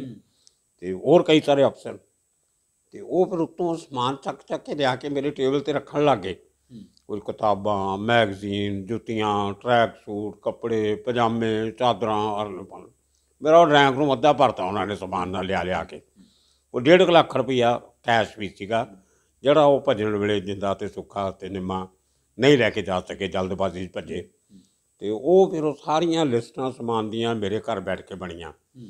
ਤੇ ਪੁਲਿਸ ਵਾਲਿਆਂ ਦਾ ਬਹਿਣਾ ਇਸ ਕਰਕੇ ਮੇਰੇ ਘਰੇ ਉਹਨਾਂ ਨੂੰ ਕੰਫਰਟੇਬਲ ਲੱਗਦਾ ਸੀ ਕਿ ਮੇਰੇ ਕੋਲ ਦੋ ਟੈਲੀਫੋਨ ਲਾਈਨ ਹੁੰਦੀਆਂ ਸੀ ਲੈਂਡਲਾਈਨ ਉਦੋਂ ਮੋਬਾਈਲ ਦਾ ਜ਼ਮਾਨਾ ਨਹੀਂ ਸੀ। ਉਹਨਾਂ ਨੂੰ ਇੱਕ ਦੂਜੇ ਨਾਲ ਗੱਲ ਕਰਨੀ ਹੈ ਇੰਸਟਰਕਸ਼ਨ ਦੇਣੀ ਹੈ ਤੇ ਮੇਰੇ ਘਰੋਂ ਫੋਨ ਦਾ ਇਸਤੇਮਾਲ ਕਰ ਲੈਂਦੇ ਸੀ। ਉਹ ਇੱਕ ਐਡੀਸ਼ਨਲ ਬੈਨੀਫਿਟ ਸੀ ਜਿਹੜਾ ਮੈਨੂੰ ਵੀ ਮਿਲਿਆ ਤੇ ਪੁਲਿਸ ਨੂੰ ਵੀ ਮਿਲ ਗਿਆ। ਤੇ ਖੈਰ ਉਹ ਗੱਲਾਂ ਕਰਦੇ ਕਰਦੇ ਜਦੋਂ ਪੁਲਿਸ ਮੈਂ ਥੋੜੇ ਦਿਨ ਪਹਿਲਾਂ ਉਸ ਤੋਂ 15-20 ਦਿਨ ਪਹਿਲਾਂ ਇੱਕ ਜਾਪਾਨ ਦਾ ਜੰਗੀ ਬੇੜਾ ਹਿੰਦੁਸਤਾਨ ਆਇਆ ਸੀ ਸਮੁੰਦਰੀ ਜਹਾਜ਼ ਇੱਕ ਵੱਡਾ। ਤੇ ਉਹਨਾਂ ਨੇ ਇੱਕ ਪਾਰਟੀ ਅ, ਉਹ ਜਹਾਜ਼ ਤੇ ਰੱਖੀ ਸੀ। ਉਹਦੇ ਮੈਂ ਕ੍ਰਾਈਮ ਵੀ ਕਵਰ ਕਰਦਾ ਸੀ ਸ਼ਿਪਿੰਗ ਵੀ ਕਵਰ ਕਰਦਾ ਸੀ ਡਿਫੈਂਸ ਵੀ ਮੇਰੇ ਕੋਲੇ ਸੀ। ਮੈਂ 7 6-7 ਬੀਟਸ ਮੈਂ ਇਕੱਠੇ ਕਵਰ ਕਰਦਾ ਸੀ। ਤੇ ਮੈਂ ਉਸ ਸ਼ਿਪ ਤੇ ਮੈਂ ਵੀ ਪਾਰਟੀ ਤੇ ਗਿਆ ਹੋਇਆ ਸੀ। ਸਾਡੇ ਪੁਲਿਸ ਕਮਿਸ਼ਨਰ ਡੀਐਸ ਹੋਮਨ ਆਪਣੀ ਵਾਈਫ ਨਾਲ ਗਏ ਹੋਏ ਸੀ। ਹੁਣ ਉਹ ਸ਼ਿਪ ਦੀ ਡੈਕ ਤੇ ਪਾਰਟੀ ਹੋ ਰਹੀ ਹੈ ਸ਼ਾਮ ਨੂੰ। ਔਰ ਥੋੜਾ ਥੋੜਾ ਜਹਾਜ਼ ਜਿੰਨਾ ਮਰਜ਼ੀ ਵੱਡਾ ਹੋਵੇ ਥੋੜਾ ਬਹੁਤ ਹਿੱਲਦਾ ਜ਼ਰੂਰ ਹੈ ਲਹਿਰਾਂ ਨਾਲ। ਤੇ ਮੈਂ ਤਾਂ ਕਈ ਵਾਰੀ ਜਾ ਚੁੱਕਾ ਜਹਾਜ਼ਾਂ ਤੇ ਇੰਡੀਅਨ ਨੇਵੀ ਦੇ ਦੂਸਰੇ ਤੇ ਮੈਨੂੰ ਥੋੜੀ ਜੀ ਆਦਤ ਪੈ ਗਈ ਸੀ ਬੈਲੈਂਸ ਜਿਹਾ ਕਰਨ ਦੀ ਉਹ ਲੱਤਾਂ 'ਚ ਕਿੰਨਾ ਕੁ ਡਿਫਰੈਂਸ ਰੱਖਣਾ ਹੁੰਦਾ ਕਰ ਕਰਾ ਕੇ ਮੈਂ ਸਿੱਖ ਲਿਆ ਸੀ ਮਾੜਾ ਜਿਹਾ। ਤੇ ਸੋਮਨ ਸਾਹਿਬ ਨੂੰ ਵਿਚਾਰਿਆਂ ਨੂੰ ਨਹੀਂ ਸੀ ਇਹਨਾਂ ਪਤਾ ਵੀ ਕੀ ਹੁੰਦਾ, ਉਹ ਤਾਂ ਆਈਪੀਐਸ ਅਫਸਰ ਬੜੇ ਚਲੀ ਬੰਦੇ ਸੀ ਵੈਸੇ ਵੀ ਵੈਰੀ ਕੰਪੀਟੈਂਟ ਮੈਨ ਤੇ ਉਹ ਕਿਤੇ ਉਹ ਸਾਕੀ ਜਿਹੜੀ ਜੈਪਨੀਜ਼ ਵਾਈਨ ਹੁੰਦੀ ਆ, ਉਹ ਨਿੱਕੇ ਜਿਹੇ ਪਤਲੇ ਜਿਹੇ ਗਲਾਸ 'ਚ ਪਾ ਕੇ ਦਿੱਤੀ ਤੇ ਉਹ ਪੀ ਰਹੇ ਸੀ ਵਿਚਾਰੇ ਕਿਤੇ। ਉਹ ਜਦੋਂ ਸ਼ਿਪ ਹਿੱਲਿਆ, ਉਹ ਥੋੜਾ ਜਿਹਾ ਇੰਬੈਲੈਂਸਡ ਹੋਏ, ਤੇ ਮਾੜੀ ਜੀ ਸਾਕੀ ਉਹਨਾਂ ਦੇ ਸਫਾਰੀ ਸੂਟ ਤੇ ਡਿੱਗ ਗਈ ਸੀ। ਤੇ ਉਹ ਫਿਰ ਇੱਕ ਜਿਹੜੀ ਇੱਕ ਹੌਸਟੈਸ ਸੀ ਜਿਹੜੀ ਜਹਾਜ਼ ਤੇ ਕੰਮ ਕਰਦੀ ਸੀ ਸੋਹਣੀ ਜੀ ਜਪਾਨਣ ਕੁੜੀ ਇੱਕ ਉਹਨੇ ਆਪਣੀ ਜੇਬ ਚੋਂ ਦੋ ਤਿੰਨ ਨਿਕਲ ਨੈਪਕਿਨ ਜੇ ਕੱਢੇ ਤੇ ਉਹ ਸੋਮਨ ਸਾਹਿਬ ਦਾ ਉਹ ਦਾਗ ਜਿਹਾ ਸਾਫ਼ ਕੀਤਾ ਤਕਰੀਬਨ। ਤੇ ਖੈਰ ਉਹ ਇੱਕ ਸੋਮਵਾਰ ਨੂੰ ਸਾਡੇ ਅਖਬਾਰ 'ਚ ਕਾਲਮ ਛਪਦਾ ਹੁੰਦਾ ਜਿੱਥੇ ਅਸੀਂ ਆਫ ਬੀਟ ਗੱਲਾਂ ਛਾਪਦੇ ਹੁੰਦੇ ਨਿੱਕੀਆਂ ਨਿੱਕੀਆਂ ਟਿਟ ਬਿਟ ਤੇ ਇੰਟਰਸਟਿੰਗ ਜਿਹੜੀਆਂ ਖਬਰਾਂ ਨਹੀਂ ਸੀ ਹੁੰਦੀਆਂ ਪਰ ਚੰਗੀਆਂ ਲੱਗਦੀਆਂ ਸੀ। ਮੈਂ ਉਹਦੇ 'ਚ ਨਿੱਕਾ ਜਿਹਾ ਕਿੱਸਾ ਲਿਖਤਾ ਸੀ। When saki spilled over the police commissioner jacket ਉਹ ਤਿੰਨ ਕਪੈਰੇ ਦੀ ਆਈਟਮ ਸੀ ਨਿੱਕੀ ਜੀ ਉਹ ਕਿਤਨਾ ਬੁਰਾ ਨਹੀਂ ਮੰਨਿਆ ਚੱਲਦਾ। ਉਹ ਜਦੋਂ ਮੇਰੇ ਘਰ ਬੈਠੇ ਸੀ ਸੋਮਨ ਸਾਹਿਬ ਤਿੰਨ ਹਫ਼ਤਿਆਂ ਬਾਅਦ ਜਿੰਦੇ ਸੁੱਕੇ ਦੇ ਭੱਜਣ ਤੋਂ ਬਾਅਦ ਉਹਨਾਂ ਨੂੰ ਗੱਲ ਯਾਦ ਆ ਗਈ ਉਹ। ਮੈਨੂੰ ਕਹਿੰਦੇ ਬਲਜੀਤ ਪੁਲਿਸ ਕਮਿਸ਼ਨਰ ਕੀ शर्ट पे कब क्या गिरता है और कैसे साफ किया जाता है वो आपको मालूम पड़ जाता है और आपके घर के ऊपर छः महीने इतने खतरनाक लोग रहते रहे और वो आपको दिखाई नहीं देता तो उन्होंने बड़े तरीके ना मैंने सुना था भी ਕਿਤੇ ਨਾ ਕਿਤੇ ਤੂੰ ਵੀ ਨਾਲ ਹੋਏਗਾ ਇਹਨਾਂ ਦੇ ਵੀ ਨਹੀਂ ਤੂੰ ਇਹੋ ਜੀ ਗੱਲ ਨਹੀਂ ਹੋ ਸਕਦੀ ਵੀ ਤੈਨੂੰ ਪਤਾ ਨਾ ਲੱਗੇ ਖੈਰ ਇਹੋ ਜਿਹੀਆਂ ਕਈ ਇਨਸੀਡੈਂਟ ਸੀ ਲੇਕਿਨ ਉਹਨਾਂ ਨੂੰ ਮੇਰੀ ਅਮ, ਨੀਅਤ ਤੇ ਜਾਂ ਮੇਰੇ ਸੱਚਾਈ ਤੇ ਕਿਸੇ ਨੂੰ ਸ਼ੱਕ ਨਹੀਂ ਸੀ ਇਹ ਮੈਂ ਇਹ ਭੱਜ ਗਏ ਤੇ ਉਹ ਜਿਹੜੀਆਂ ਆਈਟਮਾਂ ਦੀ ਐਂਟਰੀ ਹੋਈ ਜਦੋਂ ਪੰਚਨਾਮੇ ਚ ਲਿਸਟਾਂ ਬਣੀਆਂ ਉਹਨਾਂ 'ਚ ਕਿਤਾਬ ਸੀ ਉਹਦਾ ਨਾਮ ਸੀਗਾ ਟਿੱਪਲ। ਉਹ ਇੱਕ ਫੋਰਨ ਦੇ ਰਾਈਟਰ ਨੇ ਲਿਖੀ ਸੀ ਤੇ ਉਹ ਜਸੂਸਾਂ ਬਾਰੇ ਕਿਤਾਬ ਸੀ ਉਹ ਜਸੂਸੀ ਕਰਦੇ ਜਿਹੜੇ ਉਹ ਕਿਵੇਂ ਭੇਸ ਬਦਲਦੇ ਕਿਵੇਂ ਆਪਰੇਟ ਕਰਦੇ ਟਹਿਣ ਦੀ ਜਗ੍ਹਾ ਕਿਵੇਂ ਬਦਲਦੇ ਅੱਡੇ ਕਿਵੇਂ ਬਦਲਦੇ ਆ ਉਹ ਬੜੀ ਡਿਟੇਲ ਨਾਲ ਉਸ ਨਾਵਲ 'ਚ ਡਿਸਕਸ ਕੀਤਾ ਹੋਇਆ। ਉਹ ਨਾਵਲ ਜਿੰਦਾ ਤੇ ਸੁੱਖਾ ਪੜ੍ਹਦੇ ਸੀ ਮਤਲਬ ਮੈਂ ਬੜਾ ਹੈਰਾਨ ਹੋਇਆ ਵੀ ਇਹ ਬੰਦੇ ਕਰਦੇ ਕੀ ਆ ਤੇ ਪੜ੍ਹਦੇ ਕੀ ਆ। ਉਹਦੇ 'ਚ ਇਹ ਵੀ ਸੀ ਵੀ ਸ਼ਾਇਦ ਕਿਤੇ ਨਾ ਕਿਤੇ ਦਿਮਾਗ 'ਚ ਸੀਗਾ ਵੀ ਅਸੀਂ ਲੁਕਣਾ ਛਿਪਣਾ ਪੁਲਿਸ ਦੀਆਂ ਨਜ਼ਰਾਂ ਤੋਂ ਦੂਰ ਰਹਿਣਾ ਤੇ ਆਪਣਾ ਹੁਲੀਆ ਕਿਵੇਂ ਬਦਲੀਏ ਡਰੈਸਿੰਗ ਸੈਂਸ ਕਿਵੇਂ ਬਦਲੀਏ ਤੇ ਲੋਕਾਂ ਨੂੰ ਧੋਖਾ ਕਿਵੇਂ ਦਈਏ, ਲੋਕਾਂ ਦੀਆਂ ਅੱਖਾਂ ਨੂੰ ਪੁਲਿਸ ਨੂੰ ਸਫ਼ਾਈ ਦਾ ਕੰਮ ਕੀ ਹੁੰਦਾ? ਬੇਸਿਕਲੀ ਸਫ਼ਾਈ ਤੇ ਕ੍ਰਿਮੀਨਲ ਇੱਕੋ ਜਿਹੇ ਹੁੰਦੇ ਆ ਇੱਕ ਲੀਗਲ ਕੰਮ ਕਰਦਾ ਇੱਕ ਇਲੀਗਲ ਕਰਦਾ, ਬਾਕੀ ਤਰੀਕਾ ਇੱਕੋ ਹੀ ਹੁੰਦਾ ਸਾਰਿਆਂ ਦਾ। ਤੇ ਉਹ ਮੈਨੂੰ ਲੱਗਿਆ ਵੀ ਫਿਰ ਇਹ ਪਤਾ ਲੱਗਿਆ ਉਹਨੇ ਵੀ ਜਿੰਦੇ ਨੂੰ ਤਾਂ ਅੰਗਰੇਜ਼ੀ ਆਉਂਦੀ ਨਹੀਂ। ਨਾ ਨਿੰਮੇ ਨੂੰ ਇੰਨੀ ਅੰਗਰੇਜ਼ੀ ਆਉਂਦੀ ਆ ਉਹ ਜਿਹੜੀ ਉਹ ਇੰਗਲਿਸ਼ ਰਾਈਟਿੰਗ ਦਾ ਸਟਾਈਲ ਹੈ ਉਹ ਪੜ੍ਹਿਆ ਲਿਖਿਆ ਬੰਦਾ ਹੀ ਪੜ੍ਹ ਸਕਦਾ। ਫਿਰ ਜਦੋਂ ਇਹਨੂੰ ਕੁਐਰੀਆਂ ਨੂੰ ਕੁਰੀਆਂ ਕਰਦੇ ਪਤਾ ਲੱਗਿਆ ਵੀ ਸੁੱਖਾ ਜਿਹੜਾ ਸੀ ਉਹ ਐਮਏ ਅੰਗਰੇਜ਼ੀ ਦਾ ਸਟੂਡੈਂਟ ਸੀ। ਜਿਹੜੀ ਗੰਗਾ ਨਗਰ ਐਮਏ ਅੰਗਰੇਜ਼ੀ ਪਾਰਟ 1 ਕਰ ਲਿਆ ਸੀ ਪਾਰਟ 2 ਦਾ ਸਟੂਡੈਂਟ ਸੀ ਜਦੋਂ ਭੱਜਿਆ ਇਧਰ ਆਇਆ 84 ਦੇ ਦੰਗਿਆਂ ਤੋਂ ਤੇ ਜੇ ਕਿਤੇ ਨਾ ਭੱਜਦਾ ਸ਼ਾਇਦ ਐਮਏ ਅੰਗਰੇਜ਼ੀ ਕੰਪਲੀਟ ਕਰ ਲੈਂਦਾ। ਉਹ ਉਹਨੂੰ ਇਹ ਪੜ੍ਹਨ ਦਾ ਸ਼ੌਂਕ ਸੀ। ਉਹ ਥੋੜਾ ਸਫਿਸਟੀਕੇਟਡ ਵੀ ਸੀ। ਆਮ ਅਸੀਂ ਜੋ ਕ੍ਰਿਮੀਨਲ ਜਾਂ ਟੈਰੋਰਿਸਟ ਜਾਂ ਖਾੜਕੂ ਕਹਿ ਦਿੰਦੇ ਆਪਾਂ ਇਹ ਇਹ ਕੋਈ ਜ਼ਿਆਦਾ ਪੜ੍ਹੇ ਲਿਖੇ ਬੰਦੇ ਨਹੀਂ ਸੀ ਸਾਰੇ ਹੀ ਤਕਰੀਬਨ ਬਹੁਤ ਘੱਟ ਜਿਹੜੇ ਪੜ੍ਹੇ ਲਿਖੇ ਸੀ। ਉਹਨਾਂ ਤੋਂ ਸੁੱਖਾ ਇੱਕ ਸੀ ਪੜ੍ਹਿਆ ਲਿਖਿਆ ਤੋਂ। ਉਹ ਹੁਲੀਆ ਬੜਾ ਬਦਲ ਲੈਂਦਾ ਸੀ ਨਾਂ ਬੜੇ ਰੱਖ ਬਦਲਾ ਕੇ ਉਹਨੂੰ ਬੋਲੀਆਂ ਵੀ ਕਈ ਆਉਂਦੀਆਂ ਸੀ। ਰਾਜਸਥਾਨ ਚ ਰਹਿਣ ਕਰਕੇ ਉਹ ਹਿੰਦੀ ਬੜੀ ਚੰਗੀ ਬੋਲਣ ਲੱਗ ਗਿਆ ਸੀ। ਰਾਜਸਥਾਨ ਤੇ ਜੰਮਿਆ ਪੜਿਆ। ਪੁਰਾਣਾ ਉਹਦਾ ਪਿੰਡ ਸੀ ਭੁੰਗਰਨੀ। ਅਹ ਫਗਵਾੜੇ ਦੇ ਨੇੜੇ ਤੇੜੇ ਕੋਈ ਪਿੰਡ ਹੈ ਭੁੰਗਰਨੀ ਉਹ ਰਾਜਪੂਤਾਂ ਦਾ ਪਿੰਡ ਹੈ ਬੇਸਿਕਲੀ ਤੇ ਇਹ ਆਜ਼ਾਦੀ ਤੋਂ ਪਹਿਲਾਂ ਕਿਤੇ ਭੁੰਗਰਨੀ ਪਿੰਡ 'ਚ ਇਹਨਾਂ ਦਾ ਪਰਿਵਾਰ ਰਹਿੰਦਾ ਸੀ। ਉਤੋਂ ਕਿਤੇ ਪਿੰਡ ਵਾਲਿਆਂ ਨਾਲ ਝਗੜਾ ਹੋਇਆ, ਰਾਜਪੂਤਾਂ ਨਾਲ ਇਹ ਜੱਟ ਹੋਣਗੇ, ਕੁਛ ਹੋਣਗੇ ਕੋਹਣਾ ਝਗੜਾ ਤੇ ਇਹ ਪਿੰਡ ਛੱਡ ਕੇ ਇਹਨਾਂ ਦਾ ਪਿਓ, ਜਿਹੜਾ ਦਾਦਾ ਸੀ, ਉਹ ਲੈਲਪੁਰ ਚਲੇ ਗਏ ਸੀ। ਭੁੰਗਰਨੀ ਪਿੰਡ ਛੱਡ ਕੇ। ਲੈਲਪੁਰ ਜਾ ਕੇ ਉਹਨਾਂ ਨੇ ਫਿਰ ਆਜ਼ਾਦੀ ਜਦੋਂ ਵੰਡ ਹੋਈ 1947 ਚ, ਤੇ ਉਹਨਾਂ ਨੂੰ ਫਿਰ ਮਰੱਬੇ ਜਿਹੜੇ ਸੀ ਉਹ ਆ ਕੇ ਸ੍ਰੀ ਗੰਗਾ ਨਗਰ ਮਿਲੇ। ਤੇ ਸੁੱਖਾ ਜਿਹੜਾ ਸੀ ਉਹ ਅੰਮ੍ਰਿਤਸਰ ਜ਼ਿਲ੍ਹੇ ਦਾ ਰਹਿਣ ਵਾਲਾ ਸੀ ਇਹ ਇਹ ਉਹ ਇਨਵੈਸਟੀਗੇਸ਼ਨ ਚੋਂ ਪਤਾ ਲੱਗਿਆ ਸਾਰਾ। ਨਿੰਮੇ ਬਾਰੇ ਕੋਈ ਜ਼ਿਆਦਾ ਕੁਝ ਨਹੀਂ ਸੀ ਡਿਸਕਸ ਕਰਦੇ ਪੁਲਿਸ ਵਾਲੇ। ਦੋਹਾਂ ਦੀ ਮੁਲਾਕਾਤ ਖਾਲਸਾ ਕਾਲਜ ਹੋਈ? ਨਹੀਂ ਇਹ ਇਹ ਸੁੱਖੇ ਦਾ ਇੱਕ ਕਲਾਸ ਫੈਲੋ ਗੰਗਾ ਨਗਰ ਦਾ ਉਹ ਖਾਲਸਾ ਕਾਲਜ ਪੜ੍ਹਦਾ ਹੁੰਦਾ ਸੀ। ਇਹ ਜਦੋਂ ਰਾਜਸਥਾਨ ਪੁਲਿਸ ਤੋਂ ਭੱਜ ਕੇ ਆਏ ਆ ਤੇ ਇਹ ਖਾਲਸਾ ਕਾਲਜ ਉਹਦੇ ਕੋਲੇ ਹੌਸਟਲ ਜਾ ਕੇ ਰਹੇ। ਉਦੋਂ ਖਾਲਸਾ ਕੋਲ ਹੌਸਟਲ ਹੁੰਦਾ ਸੀ ਹੁਣ ਤਾਂ ਬੰਦ ਹੋ ਗਿਆ ਉਹ। ਇਹਨਾਂ ਕਰਕੇ ਬੰਦ ਹੋਇਆ ਸੀ। ਵੀ ਇਹੋ ਜਿਹੇ ਬੰਦੇ ਆ ਕੇ ਰਹਿ ਕੇ ਜਾਂਦੇ ਤੇ ਕਾਲਜ ਨੇ ਹੌਸਟਲ ਹੀ ਬੰਦ ਕਰਤਾ। ਉਦੋਂ ਬਾਅਦ ਅਜੇ ਤੱਕ ਹੌਸਟਲ ਨਹੀਂ ਖੋਲਿਆ ਉਹਨਾਂ ਨੇ ਤੇ ਕਲਾਸਰੂਮ ਬਣਾਤੇ ਹੁਣ। ਇਹ ਸਿੱਖਾਂ ਜਿੰਦੇ ਸੁੱਖੇ ਕਰਕੇ ਬੜੇ ਪੰਗੇ ਪਏ ਬੜੇ ਬੜਾ ਕੁਝ ਚੇਂਜ ਹੋਇਆ। ਤੇ ਉਹ ਮੁੰਡਾ ਜਿਹੜਾ ਸੀ ਉੱਥੇ ਡਰਾਮੇ ਦੀ ਰਿਹਰਸਲ ਹੁੰਦੀ ਸੀ ਇੱਕ ਦੀ ਉਹਦੇ 'ਚ ਇਹਨਾਂ ਨੇ ਭੰਗੜਾ ਭੰਗੜਾ ਹੀ ਪਾਇਆ ਇਹਨਾਂ ਨੇ। ਉਹ ਜੋ ਸ਼ੋਅ ਹੋਇਆ ਥੀਏਟਰ 'ਚ ਉੱਥੇ ਵੀ ਇਹਨਾਂ ਨੇ ਭੰਗੜਾ ਪਾਇਆ। ਤੇ ਮਤਲਬ ਇਹੋ ਜਿਹੇ ਕਿੰਨੇ ਦੇਖੋ ਤੁਸੀਂ ਡੈਡੀਕੇਸ਼ਨ ਦੇਖੋ ਉਹਨਾਂ ਦੀ ਆਪਣੇ ਕਾਜ਼ ਲਈ। ਕਿ ਜਿੱਥੇ ਪਹੁੰਚਣਾ ਉਸ ਮੰਜ਼ਿਲ ਤੱਕ ਪਹੁੰਚਣ ਲਈ ਜਿੰਨੇ ਰਾਹ 'ਚ ਕੋਈ ਕੰਮ ਕਰਦੇ ਸੀ ਬੜੇ ਤਰੀਕੇ ਨਾਲ ਕਰਦੇ ਸੀ ਸਾਰੇ। ਵੀ ਕਿਸੇ ਨੂੰ ਸ਼ੱਕ ਨਾ ਹੋਵੇ ਵੀ ਅਸੀਂ ਕੌਣ ਆ। ਉਹ ਜਿਹੜੇ ਜਸੂਸੀ ਨਾਵਲ ਪੜ੍ਹਦੇ ਉਹਦਾ ਅਸਰ ਕਿਤਨਾ ਕਿਤੇ ਨਜ਼ਰ ਆਉਂਦਾ। ਇਹਨਾਂ ਦੇ ਚੱਲਣ ਫਿਰਨ ਤੋਂ ਇਹਨਾਂ ਦੇ ਵਰਤਾਵੇ ਤੋਂ ਸਲੀਕੇ ਤੋਂ। ਤੇ ਉਹ ਸਟੂਡੈਂਟ ਬਣ ਗਏ। ਉਹ ਜਿਹੜੇ ਸੁਰਿੰਦਰ ਵਾਲੀਆ ਰਵਿੰਦਰ ਰਵੀ ਦੋ ਪੰਜਾਬੀ ਫਿਲਮਾਂ ਦੇ ਕਰੈਕਟਰ ਵੀ ਸੀਗੇ ਜਿਹੜੇ ਉਸ ਪਲੇਅ 'ਚ ਸੀਗੇ। ਤੇ ਉਹ ਉਹਨਾਂ ਨਾਲ ਯਾਰੀ ਦੋਸਤੀ ਪੈ ਗਈ। ਉਹ ਵਾਲੀਆ ਨੂੰ ਕਹਿੰਦੇ, ਤੂੰ ਕੀ ਕਰਦਾ? ਕਹਿੰਦਾ, ਮੈਂ ਫਿਲਮ ਬਣਾ ਰਿਹਾ, ਰੋਕ ਗਈ, ਮੇਰੇ ਪੈਸੇ ਮੁੱਕ ਗਏ। ਤੇ ਸੁੱਖਾ ਕਹਿੰਦਾ ਵੀ ਅਸੀਂ ਸਾਡੇ ਪੈਸੇ ਆਉਣ ਵਾਲੇ, ਰਾਜਸਥਾਨ ਤੋਂ ਤੈਨੂੰ ਅਸੀਂ ਦੇ ਦਾਂਗੇ। ਕਿੰਨੇ ਕੁ ਚਾਹੀਦੇ ਆ? ਉਹ ਕਹਿੰਦਾ 6 ਲੱਖ ਚਾਹੀਦਾ। ਤੇ ਉਹ ਸੁਰਿੰਦਰ ਵਾਲੀਏ ਨੇ ਕਿਤੇ ਕੋਈ ਕੋਈ ਐਂਟਰੀ ਉਂਟਰੀ ਜੀ ਕਰਕੇ ਰੱਖੀ, ਕਿਤੇ ਡਾਇਰੀ 'ਚ ਕਿ ਮੈਂ ਮਹੀਨੇ 15 ਦਿਨ ਬਾਅਦ ਇਹਨੂੰ ਯਾਦ ਕਰਾਉਣਾ। ਉਹਨੇ ਕਿਤੇ ਲਿਖ ਕੇ ਰੱਖ ਲਿਆ ਕਿ ਉਹਨੂੰ 6 ਲੱਖ ਰੁਪਏ ਦਾ ਯਾਦ ਕਰਾਉਣਾ। ਉਹ ਜਦੋਂ ਬਾਅਦ ਚ ਕਿਤੇ ਇਹ ਭੱਜ ਗਏ ਜਦੋਂ ਤੇ ਉਹ ਤੇ ਸੁਰਿੰਦਰ ਚਿੰਦੇ ਦਾ ਅ, ਸੁਰਿੰਦਰ ਵਾਲੀਏ ਦਾ ਜ਼ਿਕਰ ਨਿਕਲਿਆ ਪੁਲਿਸ ਨੂੰ ਕਿਤੇ ਨੋਟ ਮਿਲ ਗਿਆ।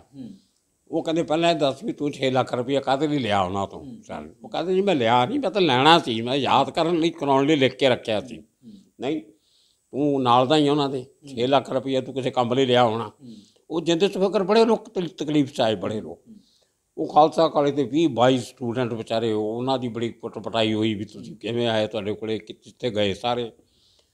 ਇੱਕ ਪ੍ਰੋਫੈਸਰ ਜੀ ਦਲੀਪ ਸਿੰਘ ਉੱਥੇ ਵਿਚਾਰਾ, ਉਹਦੀ ਬੜੀ ਇਨਕੁਆਇਰੀ ਹੋਈ ਤੇ ਇੱਕ ਜਿਹੜੀ ਜਨਾਨੀ ਨੇ ਵਿਚਾਰੇ ਇਹਨਾਂ ਨੂੰ ਕਮਰਾ ਕਿਰਾਏ ਤੇ ਲੈ ਕੇ ਦਿੱਤਾ ਸੀ, ਉਹਦੀ ਬੜੀ ਧਲਾਈ, ਉਹਨੂੰ ਤਾਂ ਦਿੱਲੀ ਲੈ ਕੇ ਸੀ ਇਨਕੁਆਇਰੀ ਇੰਟਰੋਗੇਸ਼ਨ ਲਈ।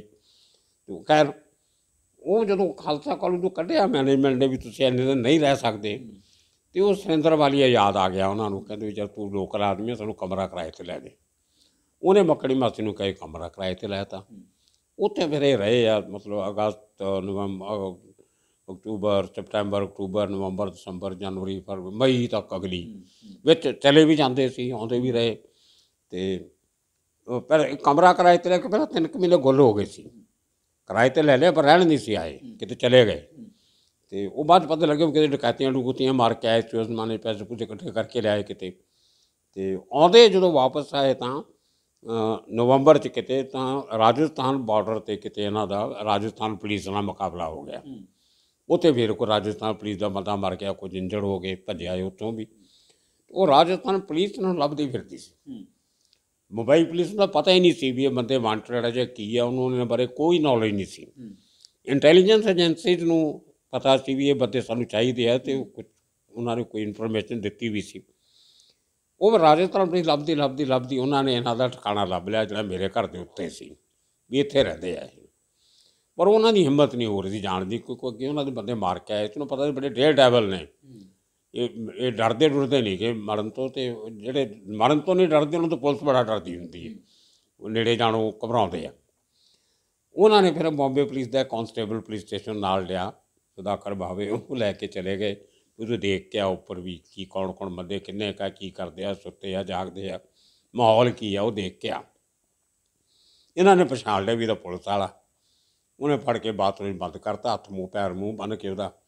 ਤੇ ਆ ਫਟਾਫਟ ਜਿੰਨਾ ਕੁ ਸਮਾਨ ਹੱਥ ਚ ਆਇਆ ਲੈ ਕੇ ਭੱਜ ਗਏ। ਤੇ ਉਹ ਮੇਰੀ ਵਾਈਫ ਨੇ ਵੀ ਦੇਖਿਆ ਜੀ ਖਿੜਕੀ ਤੋਂ ਕਿਚਨ ਦੀ ਖਿੜਕੀ ਤੋਂ ਵੀ ਤਿੰਨੇ ਜਣੇ ਭੱਜੇ ਜਾਂਦੇ ਆ। ਤੇ ਰਾਜਸਥਾਨ ਪੁਲਿਸ ਸਾਡੇ ਥੱਲੇ ਖੜੀ ਰਹਿ ਉਹਨਾਂ ਨੂੰ ਪਤਾ ਨਹੀਂ ਲੱਗਿਆ? ਇਹਨਾਂ ਨੂੰ। ਜਿਹੜੀ ਰਾਜਸਥਾਨ ਪੁਲਿਸ ਖੜੀ ਸੀ ਥੱਲੇ। ਇਹ ਵਿੱਚ ਦੋ ਪਾਸੇ ਮੈਦਾਨ ਹੈ। ਅੱਛਾ ਜੀ। ਇੱਕ ਗੇਟ ਜਿਹੜਾ ਉਹ ਨਾਰਮਲੀ ਸਾਰੇ ਯੂਜ਼ ਕਰਦੇ ਸੀ ਦੂਜੇ ਪਾਸੇ ਜਿਹੜਾ ਗਰਾਊਂਡ 'ਚ ਉੱਤੇ ਘਾਹ ਸੀ ਗੋਡੇ ਗੋਡੇ ਉੱਚਾ। ਉਧਰ ਕੋਈ ਜ਼ਿਆਦਾ ਨਹੀਂ ਸੀ। ਉਹਦੇ ਪਿੱਛੇ ਝੋਪੜ ਪੱਟੀ ਸੀ ਇੱਕ। ਤੇ ਉਹ ਤੇ ਉਹ ਇਸ ਕਰਕੇ ਲੋਕ ਉਧਰ ਦੀ ਨਹੀਂ ਸੀ ਜਾਂਦੇ ਵੀ ਝੋਪੜੇ ਨਜ਼ਰ ਆਉਂਦੇ ਆ ਤੇ ਉਹਨੇ ਜਨਾਨੇ ਜੁਨੀ ਨਾਣੇ ਨੂੰ ਘੇਰ ਦੇ ਬਾਹਰ ਰਹਿੰਦੇ। ਉਹ ਇੱਕੋ ਕਾਰਨਰ ਤੇ ਬਿਲਡਿੰਗ ਸੀ ਉਹ। ਜਿਹੜੇ ਮੇਨ ਐਂਟਰੈਂਸ ਸੀ ਉਧਰ ਰਾਜਸਥਾਨ ਵਾਲੇ ਖੜੇ ਸੀ। ਕਿ ਭੱਜਣਾ ਉਧਰ ਭੱਜ ਕੇ ਟੈਕਸੀਆਂ ਲੈਣੀਆਂ। ਉਧਰੋਂ ਹੀ ਬਾਹਰ ਜਾ ਕੇ ਮੇਨ ਬਾਜ਼ਾਰ ਵੱਲ ਜਾਣਾ ਮੇਨ ਰਾਹ ਹੋਰ ਸੀ। ਇਹ ਦੂਜੇ ਪਾਸੇ ਭੱਜੇ ਘਾਹ ਦੇ ਵਿੱਚੋਂ। ਉਹ ਇਹਨਾਂ ਨੇ ਜਿਹੜੀ ਉੱਥੋਂ ਦੂਰ ਪਾਣੀ ਦੀ ਟੈਂਕੀ ਦੂਜਾ ਜਿਹੜਾ ਟੈਕਸੀ ਸਟੈਂਡ ਸੀ ਉੱਥੋਂ ਤੱਕ ਭੱਜ ਕੇ ਗਏ ਆ ਉੱਥੋਂ ਟੈਕਸੀ ਲਈ ਆ। ਉਹ ਡੌਗ ਸਕੈਡ ਜਿਹੜਾ ਸੀ ਉਹ ਉਸ ਰੋਡ ਤੋਂ ਪਾਣੀ ਦੀ ਟੈਂਕੀ ਤੱਕ ਗਿਆ ਇਹਨਾਂ ਦੀ ਪੈਣਾ ਸੁੱਕਦਾ।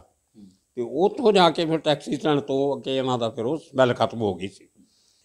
ਉਹ ਉਹ ਪਰ ਉਹ ਸਮੈਲ ਜਿਹੜੇ ਕੱਪੜੇ ਲਾ ਕੇ ਗਏ ਸੀ ਜਿਹੜੇ ਟਰੈਕ ਸੂਟ ਵਗੈਰਾ ਪਾ ਕੇ ਸੁੱਤੇ ਹੋਣੇ ਆ ਜਦ ਸਵੇਰੇ ਉਦੋਂ, ਸਵੇਰ ਦੀ ਗੱਲ ਹੈ ਇਹ। ਉਹ ਲਾ ਕੇ ਤੇ ਪੈਂਟਾਂ ਪੁੱਟਾਂ ਪਾ ਕੇ ਭੱਜੇ ਸੀ। ਉਹ ਟਰੈਕ ਸੂਟ ਛੱਡ ਗਏ ਸੀ। ਉਹ ਤੋਂ ਰੌਗ ਨੂੰ ਸਮੈਲ ਮਿਲੀ ਸੀ। ਉਹ ਪੰਜ ਨੰਬਰ ਚ ਐਂਟਰੀ ਆ, ਉਹ 10 11 ਟਰੈਕ ਸੂਟ ਅੱਛਾ, ਸਾਰੇ ਇੱਕੋ ਜਿਹੇ ਸੀ। ਮਤਲਬ ਤਿੰਨੇ ਜਾਣੇ ਇੱਕੋ ਜਿਹੇ ਕੱਪੜੇ ਖਰੀਦੇ ਸੀ। ਟਰੈਕ ਸੂਟ ਵੀ ਇੱਕੋ ਜਿਹੇ, ਬੂਟ ਵੀ ਇੱਕੋ ਜਿਹੇ, ਜਿਹੜੇ ਬੈਗ ਲੈ ਕੇ ਗਏ ਉਹ ਵੀ ਇੱਕੋ ਜਿਹੇ। ਤੇ ਅੰਡਰਵੀਅਰ ਵਗੈਰਾ ਵੀ ਇੱਕੋ ਕੰਪਨੀ ਦੇ ਖਰੀਦਦੇ ਸੀ। ਇਹੋ ਜਿਹਾ ਨਾ ਦੱਸੀ ਵੀ ਜੋ ਖਰੀਦਣਾ ਇੱਕੋ ਜਿਹਾ ਖਰੀਦੇ ਸਾਰਾ ਕੁਝ ਬਣਾਉਣਾ ਵੀ ਇੱਕੋ ਕੰਪਨੀ ਦੀਆਂ। ਇਹੋ ਜਿਹਾ ਸੀ ਸਿਸਟਮ ਇਹਨਾਂ ਦਾ। ਉਹ ਕਈ ਕੁਝ ਮਿਲਿਆ ਉੱਥੋਂ ਕੁਝ ਆਬਜੈਕਸ਼ਨਲ ਵੀ ਸੀਗਾ।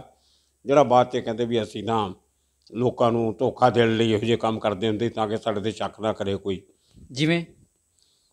ਕੋਈ ਕਈ ਕੁਝ ਸੀਗਾ। ਸੁਖਣਾ ਵੀ ਮਿਲੀਆਂ ਉੱਥੋਂ। ਕਈ ਕੁਝ ਇਹੋ ਜਿਹਾ ਉਲਟਾ ਸਿੱਧਾ ਉਹ ਤੇ ਉਹ ਮੈਂ ਉਹ ਸਾਰਾ ਪੰਚਨਾਮੇ 'ਚ ਲਿਖਿਆ ਉਹਨਾਂ ਨੇ ਕਈ ਓਮਿਟ ਵੀ ਕਰਤੇ ਚੀਜ਼ਾਂ ਵੀ ਇਹਨਾਂ ਗੱਲਾਂ ਦਾ ਕੋਈ ਇਨਵੈਸਟੀਗੇਸ਼ਨ ਦਾ ਮਤਲਬ ਤਾਂ ਹੁੰਦਾ ਨਹੀਂ। ਇਸ ਕਰਕੇ ਪੁਲਿਸ ਨੇ ਮੈਂਸ਼ਨ ਵੀ ਨਹੀਂ ਕੀਤਾ। ਤੇ ਉਹ ਇਹਨਾਂ ਨੇ ਜਦੋਂ ਪੁਲਿਸ ਵਾਲੇ ਪੁੱਛਦੇ ਸੀ ਇਹੋ ਜਿਹੇ ਕੰਮ ਕਿਉਂ ਕਰਦੇ ਸੀ? ਉਹ ਜਿਹੜਾ ਸਾਹਮਣੇ ਸੈਕਟਰਾਂ ਦੀ ਦੁਕਾਨ ਵਾਲਾ ਭਈਆ ਸੀ ਉਹਦੇ ਉਹਦੀ ਵੀ ਇਨਕੁਆਇਰੀ ਬੜੀ ਹੋਈ ਤੇ ਉਹ ਕੀ ਕੀ ਲੈ ਕੇ ਜਾਂਦੇ ਸੀ? ਕਿੰਨੇ ਵਜੇ ਆਉਂਦੇ ਸੀ? ਪੈਸੇ ਕਿਵੇਂ ਦਿੰਦੇ ਸੀ? ਤੇ ਕਦੇ ਫੋਰਨ ਕਰੰਸੀ 'ਚ ਪੇਮੈਂਟ ਕੀਤੀ ਇੰਡੀਅਨ ਕਰੰਸੀ 'ਚ ਕੀਤੀ। ਮਹੀਨੇ 'ਚ ਕਿੰਨਾ ਕੁ ਖਰਚ ਕਰਦੇ ਸੀ ਤੇਰੇ ਕੋਲੋਂ? ਕਈ ਕੁਝ ਉਦੋਂ ਫਿਰ ਪਤਾ ਲੱਗਿਆ ਵੀ ਉਹ ਤੋਂ ਖਰੀਦ ਕੇ ਲਿਆਉਂਦੇ ਸੀ ਸਾਰਾ। ਤੇ ਉਹ ਉਹਨਾਂ ਕੋਲੇ ਗੈਸਟ ਵੀ ਕਈ ਮੁੰਡੇ ਕੁੜੀਆਂ ਆਉਂਦੇ ਸੀ। ਉਹ ਉਹ ਕਹਿੰਦੇ ਹੁੰਦੇ ਉਹਨਾਂ ਲਈ ਖਰੀਦੇ ਹੋਣਗੇ ਮਤਲਬ ਉਹ ਕੈਮੋਫਲਾਜ ਤੇ ਖੈਰ ਉਹ ਫਿਰ ਪੰਚਨਾਮੇ ਚ ਹੈਗਾ ਸਾਰਾ ਕੁਝ ਲਿਖਿਆ ਕੀ ਕੀ ਮਿਲਿਆ। ਉਹ ਤੋਂ ਫਿਰ ਇਹ ਭੱਜ ਕੇ ਚਲੇ ਗਏ ਪੂਨਾ। ਇਹ ਤੋਂ ਭੱਜ ਕੇ। ਇਹ 3 ਮਈ ਦੀ ਗੱਲ ਹੈ 1986 ਦੀ। ਉਦੋਂ ਪਹਿਲਾਂ ਇਹਨਾਂ ਨੇ ਜਨਰਲ ਵੈਦਿਆ ਦੀ ਪੂਰੀ ਰੈਕੀ ਕੀਤੀ ਦਿੱਲੀ। ਉਹਨੂੰ ਪਤਾ ਲੱਗ ਗਿਆ ਵੀ ਇਹ 31 ਜਨਵਰੀ ਨੂੰ ਰਿਟਾਇਰ ਹੋ ਰਿਹਾ 86 ਚ। ਉਹਨਾਂ ਨੇ ਇਹ ਵੀ ਕਰ ਲਿਆ ਕਿ ਇਹਨੇ ਰਿਟਾਇਰ ਹੋ ਕੇ ਪੁਣੇ ਜਾਣਾ ਅੰਦਰੋਂ ਖਾਤੇ ਉਹ ਵੀ ਇਨਕੁਆਇਰੀ ਕਰ ਲਈ। ਆਰਟੀ ਆਫਿਸ 'ਚ ਉਹਨਾਂ ਨੇ ਇਹ ਵੀ ਇਨਕੁਆਇਰੀ ਕਰ ਲਈ ਕਿ ਉਹਦੇ ਕੋਲ ਗੱਡੀ ਕਿਹੜੀ ਹੈ ਜੋ ਗੱਡੀ ਕਿਹਦੇ ਨਾਂ ਤੇ ਰਜਿਸਟਰਡ ਹੈ ਉਹ ਜਿਹੜੀ ਮਰੂਤੀ 800 ਕਾਰ ਸੀ ਉਹਦੀ ਵਾਈਫ ਭਾਨੂ ਵੈਦਿਆ ਦੇ ਨਾਂ ਤੇ ਰਜਿਸਟਰਡ ਸੀ ਭਾਨੂਮਤੀ ਵੈਦਿਆ। ਤੇ ਉਹ ਜਿਹੜੀ ਇਹਨਾਂ ਦੇ ਕੋਲੋਂ ਨਾਵਲ ਮਿਲਿਆ ਸੀ ਅੰਗਰੇਜ਼ੀ ਦਾ ਜਸੂਸੀ ਨਾਵਲ। ਉਹਦੇ ਆਖਰੀ ਪੰਨੇ ਤੋਂ ਲਿਖਿਆ ਹੋਇਆ ਸੀ ਇੱਕ ਜਗ੍ਹਾ ਤੇ Bannu Vaidya D I B 1437 ਉਹ ਲੇਕਿਨ ਕਿਸੇ ਪੁਲਿਸ ਵਾਲੇ ਦੇ ਦਿਮਾਗ 'ਚ ਨਹੀਂ ਆਇਆ ਵੀ ਇਹ Banu Vaidya D I B Delhi the number. ਹੋਣਾ ਤਾਂ ਚਾਹੀਦਾ ਸੀ ਵੀ ਜਿਹੜੇ ਇਨਵੈਸਟੀਗੇਟਰ ਹੁੰਦਾ ਉਹ ਹਰ ਚੀਜ਼ ਦੀ ਤਹਿਕੀਕਾਤ ਕਰਦਾ। ਉਹਨਾਂ ਨੂੰ ਸਭ ਤੋਂ ਪਹਿਲਾਂ ਇਹ ਕਰਨਾ ਚਾਹੀਦਾ ਸੀ ਹੋਰ ਤਾਂ ਕੋਈ ਮਟੀਰੀਅਲ ਐਵੀਡੈਂਸ ਮਿਲੀ ਨਹੀਂ ਕੋਈ ਗਨ ਨਹੀਂ ਮਿਲੀ ਕੋਈ ਪਾਊਡਰ ਨਹੀਂ ਮਿਲਿਆ ਕੁਝ ਨਹੀਂ ਮਿਲਿਆ। ਆਹੀ ਇੱਕ ਵੱਖਰਾ ਜਿਹਾ ਇੱਕ ਇਨਫੋਰਮੇਸ਼ਨ ਤੇ ਜਿਹੜੀ ਜ਼ਰੂਰ ਫੋਲੋ ਕਰਨੀ ਚਾਹੀਦੀ ਸੀ ਇਹਨਾਂ ਨੂੰ। ਤੇ ਅਗਰ ਕਰਦੇ ਤਾਂ ਦਿੱਲੀ ਤੋਂ ਇਨਕੁਆਇਰੀ ਕਰਦੇ ਹੋ ਕੀ ਵਾਇਰਲੈਸ ਕਰਨੀ ਜੀ ਫੋਨ ਕਰਨਾ ਜੀ ਦਿੱਲੀ ਪੁਲਿਸ ਨੂੰ ਪਤਾ ਕਰਕੇ ਦੱਸ ਦਿੰਦੇ ਕਿ ਜਾਣ ਦੀ ਲੋੜ ਸੀ ਉੱਥੇ। ਉਹ ਦੱਸ ਦਿੰਦੇ ਕਿ ਮਿਸਟਰ ਬਾਨੂ ਵੈਦਿਆ ਉਸ ਐਡਰੈਸ ਲਿਖਿਆ ਹੋਣਾ ਸੀ wife of chief of army staff ਉਹਦੀ ਘਰ ਵਾਲੀ ਆ ਉਹ ਫਿਰ ਪੁਲਿਸ ਵਾਲਿਆਂ ਤੇ ਆਪੇ ਹੀ ਦਿਮਾਗ ਖੜਕ ਜਾਣਾ ਸੀ ਇਹਨਾਂ ਦੀ ਕਿਤਾਬ 'ਚ ਉਹਦਾ ਨੰਬਰ ਕਿਉਂ ਆ? ਮਤਲਬ ਉਦੋਂ ਰਾਜਸਥਾਨ ਪੁਲਿਸ ਤੇ ਮੁੰਬਈ ਪੁਲਿਸ ਕਿਉਂਕਿ ਜੁਆਇੰਟ ਹੀ ਸੀਗਾ ਉਹਨਾਂ ਨੇ ਇਨਫੋਰਮ ਕੀਤਾ ਮੁੰਬਈ ਪੁਲਿਸ ਨੂੰ ਤੇ ਨਾਲ ਟੀਮ ਵੀ ਗਈ ਉਸ ਤੋਂ ਬਾਅਦ ਤੁਸੀਂ ਦੱਸਿਆ ਵੀ ਕਮਿਸ਼ਨਰ ਤੱਕ ਉੱਥੇ ਪਹੁੰਚੇ। ਬੰਬੇ ਰਾਜਸਥਾਨ ਪੁਲਿਸ ਨੇ ਬੰਬਈ ਪੁਲਿਸ ਨੂੰ ਇਹ ਨਹੀਂ ਦੱਸਿਆ ਕਿ ਅਸੀਂ ਜਿੰਦਾ ਸੁੱਖਾਂ ਨੂੰ ਫੜਨਾ ਆਏ ਹਾਂ। ਅੱਛਾ। ਉਹਨਾਂ ਨੂੰ ਇਹਨਾਂ ਨੂੰ ਗਲਤ ਇਨਫੋਰਮੇਸ਼ਨ ਦਿੱਤੀ। ਰਾਜਸਥਾਨ ਪੁਲਿਸ ਨੇ ਬਹੁਤ ਵੱਡਾ ਕੈਚ ਸੀ। ਔਰ ਸਾਰੇ ਪੂਰਾ ਆਪਰੇਸ਼ਨ ਦੀ ਅ, ਸਿਹਰਾ ਰਾਜਸਥਾਨ ਪੁਲਿਸ ਆਪਣੇ ਸਰ ਲੈਣਾ ਚਾਹੁੰਦੀ ਸੀ। ਅੱਛਾ। ਵੀ ਅਸੀਂ ਫੜ ਕੇ ਫਿਰ ਦੱਸਾਂਗੇ। ਵੀ ਜੇ ਬੰਬੇ ਪੁਲਿਸ ਦੀ ਮਦਦ ਨਾਲ ਫੜਦੇ ਫਿਰ ਦੋਨਾਂ ਨੂੰ ਜੁਆਇੰਟ ਸਿਹਰਾ ਹੋਣਾ ਸੀ ਦੋ ਰਾਜਾਂ ਦੀ ਪੁਲਿਸ ਨੇ ਇਹ ਬੰਦੇ ਫੜੇ। ਉਹ ਇੰਸਪੈਕਟਰ ਥਰੀ ਸਟਾਰ ਇੰਸਪੈਕਟਰ ਦੀ ਰਤਨ ਸਿੰਘ ਰਾਜਸਥਾਨ ਪੁਲਿਸ ਦਾ। ਜੀ। ਉਹਦਾ ਅਸਿਸਟੈਂਟ ਸੀਗਾ ਗੋਬਿੰਦ ਸਿੰਘ। ਉਹ ਉਹਨਾਂ ਨੇ ਕੰਮ ਤਾਂ ਬਹੁਤ ਮਿਹਨਤ ਨਾਲ ਕੀਤਾ ਉਹਨਾਂ ਨੇ। ਪਰ ਆਖਰ ਤੇ ਆ ਕੇ ਗਲਤੀ ਕਰਕੇ ਕ੍ਰੈਡਿਟ ਲੈਣ ਦੇ ਚੱਕਰ 'ਚ। ਉਹ ਬੰਬੇ ਪੁਲਿਸ ਨੂੰ ਦੱਸਿਆ ਵੀ ਇਹ ਤਾਂ ਕੋਈ ਟਰੱਕ ਡਰਾਈਵਰ ਕੋਈ ਟਰੱਕ ਚੋਰੀ ਕਰਕੇ ਲੈ ਕੇ ਭੱਜੇ ਹੋਏ ਆ। ਤੇ ਟਰੱਕ ਚੋਰਾਂ ਨੂੰ ਲੱਭ ਰਹੇ ਆ ਅਸੀਂ। ਲੇਕਿਨ ਜਦੋਂ ਫਿਰ ਪੰਚਨਾਮਾ ਤਿਆਰ ਹੋਇਆ ਜਾਂ ਜੋ ਸਮਾਨ ਅੰਦਰੋਂ ਕੱਢਿਆ ਗਿਆ ਉਸ ਤੋਂ ਬਾਅਦ ਤਾਂ ਪੁਲਿਸ ਨੂੰ ਦੱਸਣਾ ਹੀ ਪਿਆ ਹੋਣਾ ਰਾਜਸਥਾਨ ਪੁਲਿਸ ਨੂੰ। ਉਹ ਤਾਂ ਉਹਨਾਂ ਨੇ ਉਹਦੇ ਤੇ ਭੱਜ ਗਏ ਜਦੋਂ। ਉਦੋਂ ਹੀ ਉਹਨਾਂ ਨੇ ਦੱਸਿਆ। ਕਿਉਂਕਿ ਨਾ ਦੱਸਦੇ ਤੇ ਫਿਰ ਲੱਭਣਾ ਔਖਾ ਹੋ ਜਾਣਾ। ਜਿਵੇਂ ਤੁਸੀਂ ਕਿਹਾ ਵੀ ਨੋਵਲ ਦੇ ਇੱਕ ਪੇਜ ਤੇ ਨੰਬਰ ਲਿਖਿਆ ਹੋਇਆ ਸੀ ਗੱਡੀ ਦਾ। ਮਈ ਦਾ ਇਹ ਵਾਕਾ ਹੈ ਜਦੋਂ ਹੁਣ ਨੱਠੇ ਨੇ। ਤੇ 10 ਅਗਸਤ ਨੂੰ ਜੇ ਮੈਂ ਗਲਤ ਨਹੀਂ 10 ਅਗਸਤ 1986 ਨੂੰ ਮੇਰੇ ਖਿਆਲ ਦੇ ਵਿੱਚ ਜਨਰਲ ਵੈਦ ਮਾਰੇ ਗਏ। ਤੇ ਮਤਲਬ 3-4 ਮਹੀਨੇ ਪਹਿਲਾਂ ਹੀ ਪਤਾ ਲੱਗ ਜਾਂਦਾ ਤੇ ਸ਼ਾਇਦ ਜਨਰਲ ਵੈਦ ਉਦੋਂ ਨਾ ਮਰਦੇ। ਜੇ ਪੁਲਿਸ ਨੇ ਕੰਮ ਸਹੀ ਤਰੀਕੇ ਨਾਲ ਕੀਤਾ ਹੁੰਦਾ। ਸਹੀ ਕੀਤਾ ਬਿਲਕੁਲ ਅਗਰ ਸਹੀ ਤਰੀਕੇ ਨਾਲ ਕੀਤਾ ਹੁੰਦਾ ਪੁਲਿਸ ਅਲਰਟ ਹੁੰਦੀ ਮਿਲਟਰੀ ਇੰਟੈਲੀਜੈਂਸ ਅਲਰਟ ਹੁੰਦੀ ਔਰ ਉਹ ਪੂਨਾ ਜਿਹੜੇ ਏਰੀਏ 'ਚ ਰਹਿੰਦੇ ਸੀ ਉਹ ਬੜਾ VIP area queens road 18 number ਕੋਠੀ ਸੀ ਉਹਨਾਂ ਦੀ। ਔਰ ਮਜ਼ੇਦਾਰ ਗੱਲ ਹੈ ਉਸੇ ਰੋਡ ਤੇ ਬੰਬ- ਪੁਣੇ ਦਾ ਪੁਲਿਸ ਕਮਿਸ਼ਨਰ ਵੀ ਰਹਿੰਦਾ ਉਸੇ ਰੋਡ ਤੇ ਆਰਮੀ ਦੇ ਦੋ ਤਿੰਨ ਜਨਰਲ ਅੱਜ ਵੀ ਆ ਅੱਜ ਵੀ ਐਵੇਂ ਹੀ ਆ। ਉੱਥੇ ਵੱਡੇ ਵੱਡੇ ਮਿਲਟਰੀ ਦੇ ਅਫਸਰ ਵੱਡੇ ਵੱਡੇ ਪੁਲਿਸ ਦੇ ਅਫਸਰ ਉਹ ਸਾਰੇ ਉਸੇ ਕੁਈਨਜ਼ ਰੋਡ ਤੇ ਰਹਿੰਦੇ ਆ। ਜਿਹੜਾ ਪੂਨਾ ਸੀਆਈਡੀ ਦਾ ਇੰਚਾਰਜ ਉਹ ਵੀ ਉੱਥੇ ਰਹਿੰਦਾ। ਤੇ ਜੇ ਕਿਤੇ ਪਹਿਲਾਂ ਅਲਰਟ ਕੀਤਾ ਹੁੰਦਾ ਤੇ ਸ਼ਾਇਦ ਇਹ ਅਮ, ਇਹ ਇਹ ਹਾਦਸਾ ਬਚਾਇਆ ਜਾ ਸਕਦਾ ਸੀ। ਪਰ ਕਿਸੇ ਨੇ ਧਿਆਨ ਨਹੀਂ ਦਿੱਤਾ ਇਹਨੂੰ ਕਹਿੰਦੇ ਕ੍ਰਿਮੀਨਲ ਨੈਗਲੀਜੈਂਸ ਇੰਨੀ ਵੱਡੀ ਕ੍ਰਿਮੀਨਲ ਨੈਗਲੀਜੈਂਸ ਜਿਹੜੀ ਆ, ਉਹ ਪਹਿਲਾਂ ਆਰਮੀ ਦੀ ਗਲਤੀ ਆ।